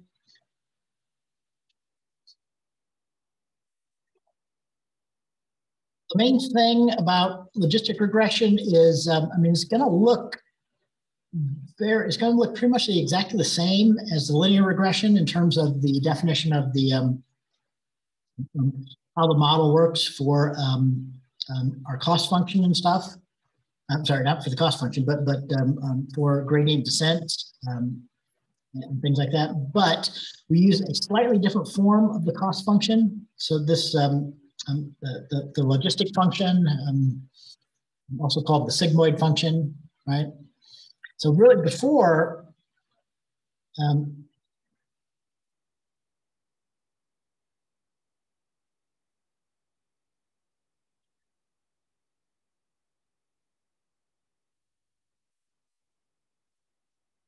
Um, so, uh, uh, so this isn't the cost function. Sorry, did I say the cost function? Uh, so this is our function for um, generating the hypothesis. Right? So our function for generating the hypothesis for straightforward linear regression is just to multiply the x's times the theta parameters, okay? So, so that's that's a linear regression, right? So, so once you have some estimate for the theta parameters, you multiply them by the whatever the value is of x for each of the features.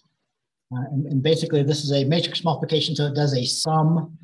Um, so, so it multiplies each value and sums them up, and, and that, that's your hypothesis, right? So for logistic regression, we have to remember, so um, the output that we want for logistic regression isn't like a number, um, uh, you know, so a real value number, like predicting the, the price of the house from our from the features that we use as input, right? So for um, logistic, for, for a, a classification problem, the output we're going to try and be predicting is going to be a, a class, okay? So we're going to start off just talking about binary classification, right? So in that case, we've only got two classes. So the output, the label is going to be either zero or one, right? So we need to have a, a modified form of the function that, um, uh, you know, takes the, the, the features, multiplies the, the, the inputs, multiplies those times our parameters for the model, right? But then needs to do some sort of a transformation to get a result uh, that's zero or one, right? Uh, for a binary classification. So, so zero, one, true, false, yes, no, right? So that's why we use the sigmoid function. The sigmoid function gives, um, looks like this, right? But whatever the value of z is, um, or x, whatever you want to think of this, whatever you have as input, it's going to squash the result to some value between zero and one. So that, that's the, the, the primary reason why we're using the sigmoid function because after you uh, do the, the, the normal thing we were doing before to multiply the inputs times the parameters, you put it through the sigmoid function, the result will be a value between zero and one. But it can be, it's not going to be exactly zero or exactly one. It's going to be some value in between there, right? So we're somewhere between, I mean, it actually never gets exactly to zero. So, so, so it only approaches zero asymptotically as you go to larger and larger negative numbers and approaches zero asymptotically. But effectively, once you're above like uh, five, um, five or six, or negative five, negative six, it's pretty much um, zero or one to um, you know uh, four or five digits, right? But within that range, it's going to be some value between zero and one. Right, and if, if, if after you do the, the, the x's times the parameters and you sum those up, uh, you get a value zero, the, the result is going to actually be zero when you go through the sigmoid, okay? So normally what we do, I mean, you can set what's known as like the, the cutoff where you want, but, but normally you can think of the cutoff as being set as a value of zero. So anything that ends up being below zero, we end up uh, predicting that it's going to be um, a zero, or sorry, yeah, it ends up being below 0.5 um, on our sigmoid. So, so if we use a cutoff of 0.5, we'll make it as a prediction of zero. And notice that a cutoff of 0.5 corresponds to when the uh, when the sum of x times the theta parameters ends up being zero. So if, if, if x times the theta, the, the sum of the x times the theta parameters is, is zero, um, or less, zero or negative, um, we're going to be to this side of the sigmoid, and and we'll end up if we use 0.5 as our cutoff, we'll end up predicting zero. Right? And if if the, that sum ends up being greater than zero, so positive, um, uh, we'll end up with a result on the sigmoid that's greater than 0.5, so we'll predict a one in that case, right? So yeah, we use that cutoff basically, or, or standard cutoff. Although, you know, later on we'll talk about you can. Um, this is really what we were doing when we did the um, um, um, the, the precision recall. We were actually changing the value of this uh, cutoff value and seeing how that affected um, our false positives and true negatives, basically, right? So yeah, I mean, by, by modifying where we do the cutoff, like if we made it 0.2, then we'd have things, uh, you know, more things would, would um, we would classify as, you know, we'd predict as being one. Um, anyway,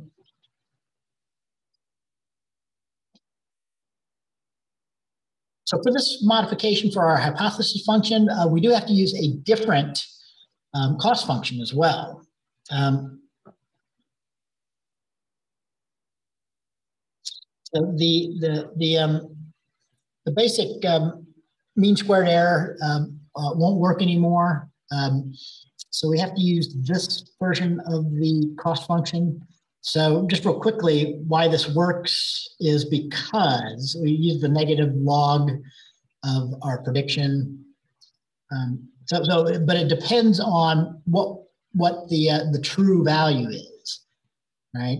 So if the true label is one, we use the negative log of the prediction, and if the true label is zero, we use the, the negative of one minus the prediction, right?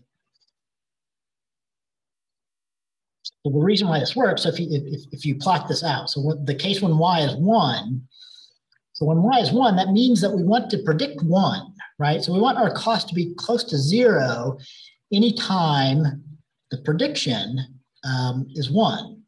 And that's, that's what happens uh, uh, here for this first part of this um, two-part um, um cost function, right? By taking the negative log of p, um, when it's one, we get values close to zero, and when it gets down here zero, it rapidly, the, the cost rapidly increases, right? Because we're making a bad prediction in that case, right? So, so the true value is one, but we're, but if the, um, the sigmoid gets a value close to uh, zero, um, it's making a bad prediction, right? And the cost rapidly rises, right? But we have to flip that when the true, when the label is zero. So when the, um, um, um uh, when the, the class is false or no. Right? So, so the, the, the second part of this, if you take just take one minus the prediction, um, you get the reverse of that. So, so again, if the true label is zero, whenever we're predicting close to zero, we want the cost to be zero. And if the true label is zero, but we're predicting, uh, sorry, our predictor is being close to one, um, we want that, that to be a, a high cost, right?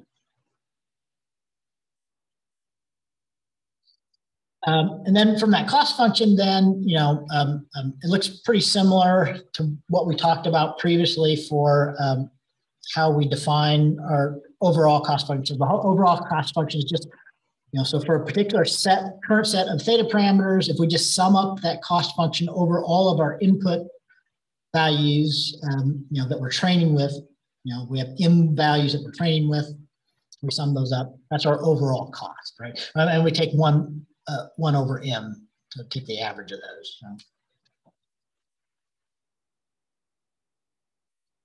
Um,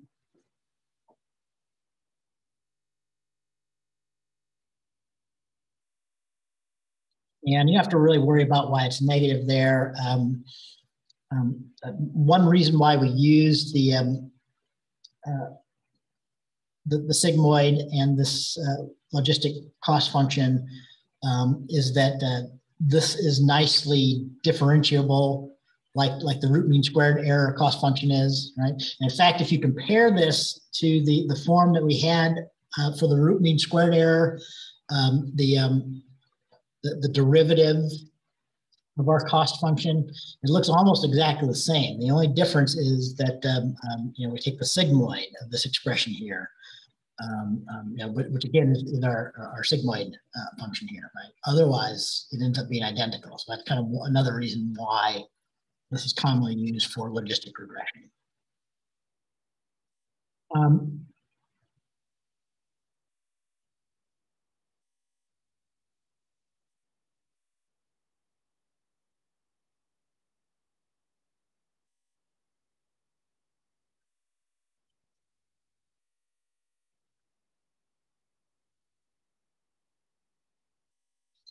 So um,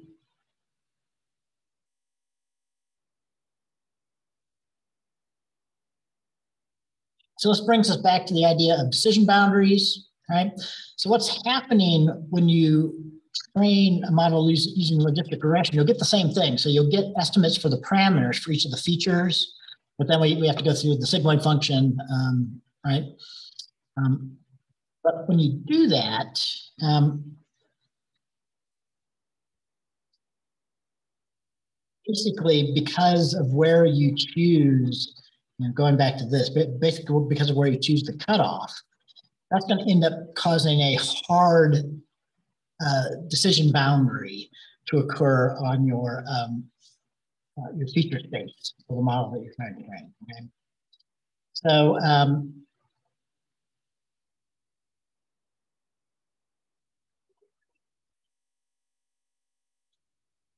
so examples of this, you know, to make this clearer. So like in this first example, we're using the well-known classification problem um, using the um, um,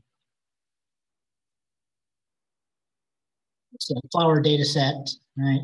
So in this case, actually the, the, the, the, the flower data set, um, uh, the iris data set, sorry, that's usually called the iris data set, um, was an example of a multi-class classification problem. So there's actually four classes. So there's Virginica, uh, yeah, I'm not going to remember. I didn't look it up before um, I started lecturing, but, but, there's actually four different classes. So we turn it into a, um, a binary classification problem, um, in this case by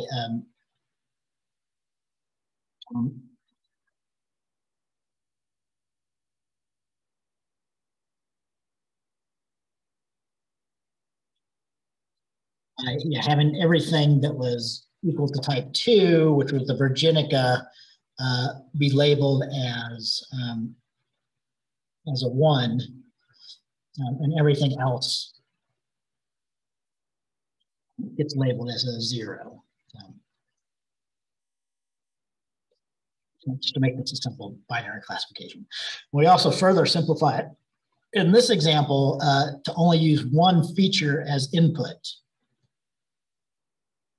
So in this case, you know, we create a, a logistic regression like you should be used to by now, and we fit it to our data, but um, X has simply one of the four um, features. There, there, there's four classes as output, but there's actually um, um, four features in the iris data, uh, which is like petal length, petal width, um, and then the, the sepal length and sepal width, which is another part of these irises that we're trying to make a classifier for here.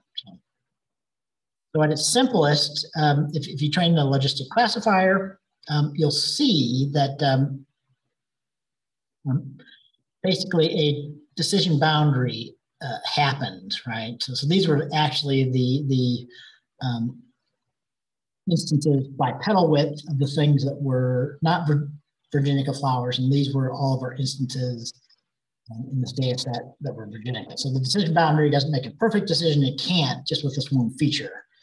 so a few things were misclassified by this decision boundary point.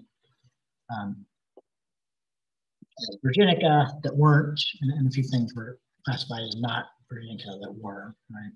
But that's the best it can make, presumably, um, with the, the, the, data that we gave it here.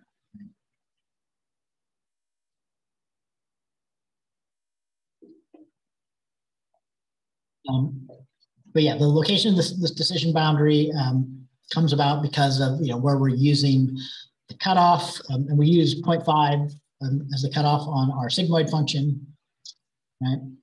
And so basically, yeah, I mean anything that ends up with a sigmoid of 0.5 or less um, is going to end up over here. And, and what happens after we trained the model was that that cutoff happened at about 1.6. Uh, oh yeah, 1.66 or 1.66 centimeters for the feature um, um, ended up being that, that place where the cutoff happened when we trained our logistic regression model. Um,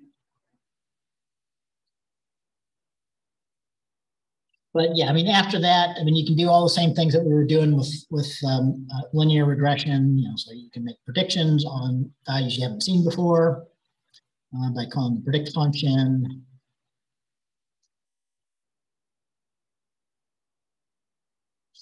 Um, we can do a binary uh, classification, uh, of course, on more than one feature.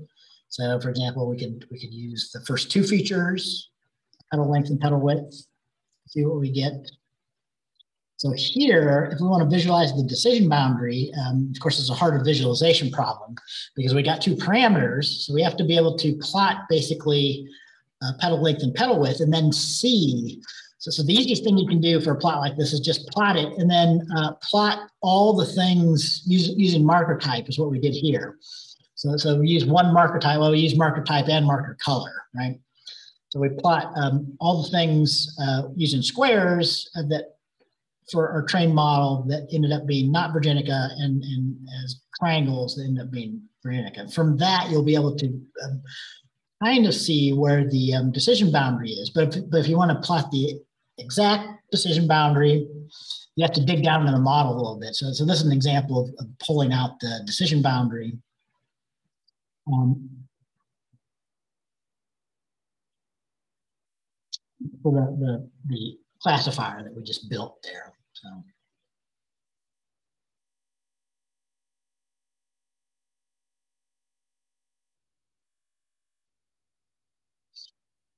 Um, so, you know, I, I didn't really want to go too much into the details of this, um, but, um, you know, what we're kind of doing here then is um, we're really using a contour plot.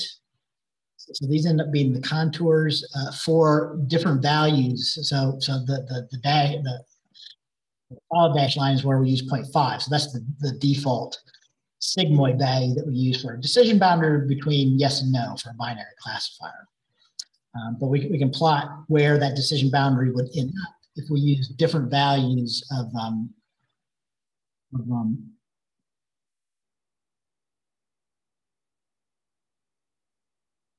of um, of the sigmoid um, um, to uh, to move the decision boundary. Okay. But yeah, the most important one is really this one. So this is this is the decision boundary that we actually uh, use um, for the standard logistic regression. We're using 0.5 on the sigmoid uh, to divide these. Um,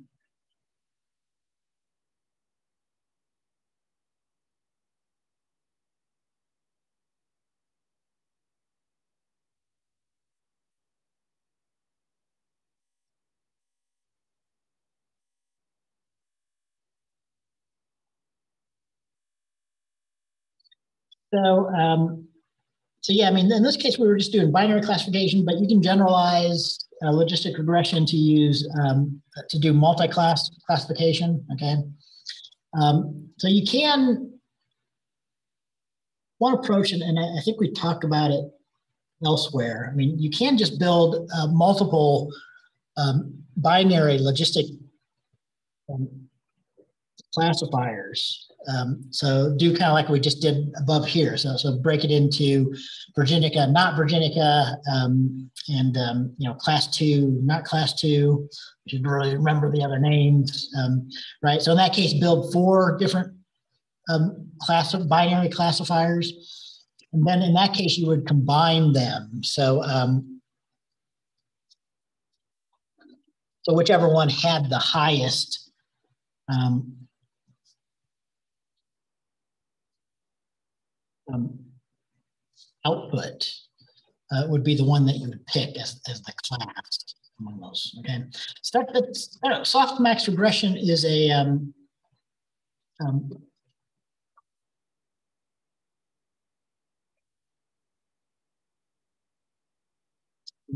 a similar idea, but where we use a slightly different version of our um, um, prediction um, you know, our hypothesis generation, right? So, so we're, we're modifying our hypothesis generation to look like this. We're still using the sigmoid, um, but um, we're using this form here, right? Um, I mean, SK is still just, um, you know, X's times the thetas, whatever the current values of the thetas are. Um, so, and, and I, I, mean, I go more into this on in the lecture video. Um, I'm not going to go really into the details of all of this here. Um,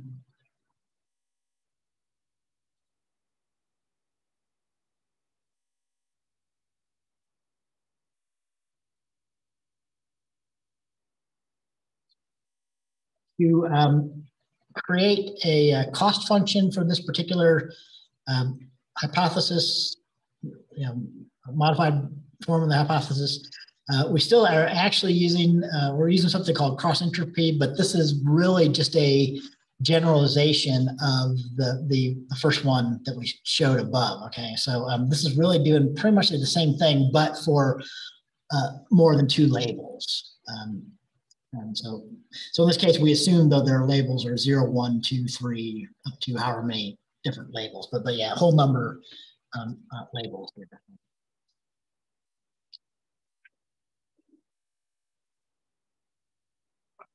Um, or, or, no, uh, so that's not quite right. Um, really, what it will be is is that um, um, a zero or one, but we'll have four of those, uh, or one for each class, depending on how many classes we have. So for our iris, um, um, we're going to have four things, which will be one for the class is and zero for the others that it's not, which is being used in this um, cross degree. Um,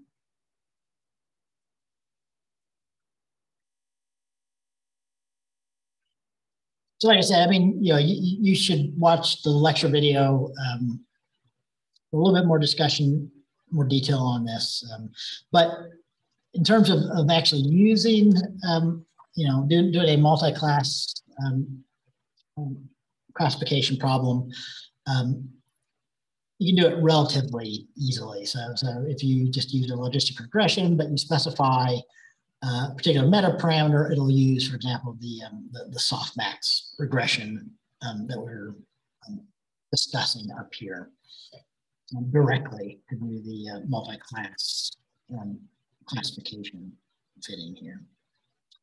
Um,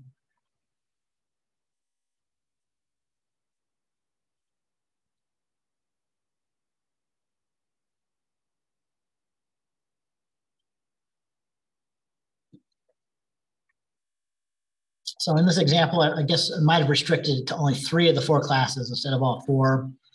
But even still, you know, so so um, becomes even a tougher kind of problem to visualize. So in this case, I mean, there's ways to do it. So this is an example of pulling it out. Um, um, and, again, using kind of that contour map idea.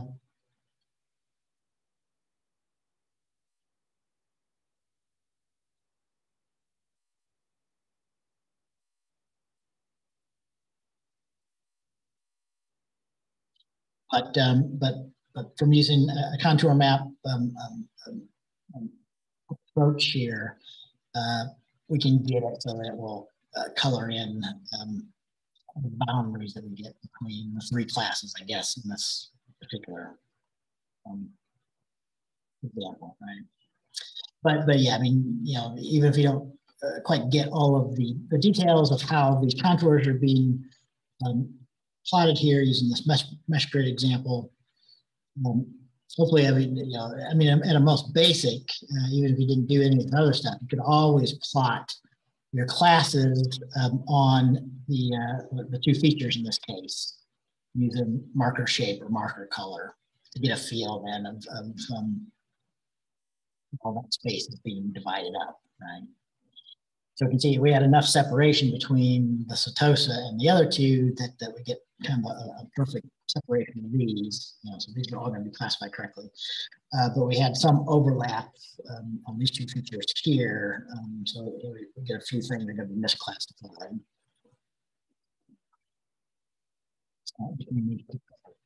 Um, all right. Um, yeah, that's kind of all I wanted to talk about here today.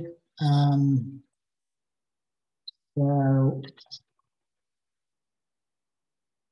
as usual, um, I will go ahead and post this once I get a chance, although I had an announcement. So um, you might want to read the announcement about the class help session. So there's been some um, pushback and I might have to change the format of these a little bit basically meaning I might not might not be able to do all these as Zoom sessions here. So, um, and the other thing is, yeah, I mean, so next week we are going to be doing our first test. So I, I plan to kind of just talk about the, the, the format and kind of review things and see if people have any questions about stuff they want to um, ask. So, but but yeah, if, if you want to start preparing for the first test after you look through this um, um, week seven's materials here, your best thing to do would be to look through the, the assignments um, and the, the lecture notebooks. Um, kind of review those things. yeah. So the, the, the tests are going to be pretty similar to actually the assignments for this class. I'll be giving you um, an i a, a notebook with questions um, like in our like these past two assignments um, and, and asking you to do some work uh, in those you know, write code in order to solve problems or answer the questions. Um, and you'll mostly be doing linear and logistic regressions um, with some data sets. Um,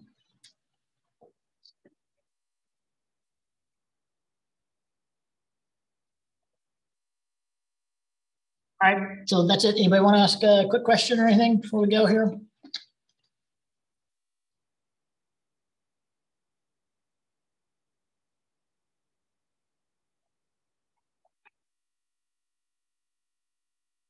Um, all right, well, um, then I'm gonna go ahead and end the session. Everybody have a good day then, you know, send me, um, um, emails if you have questions or anything like that, and I'll see you guys later then.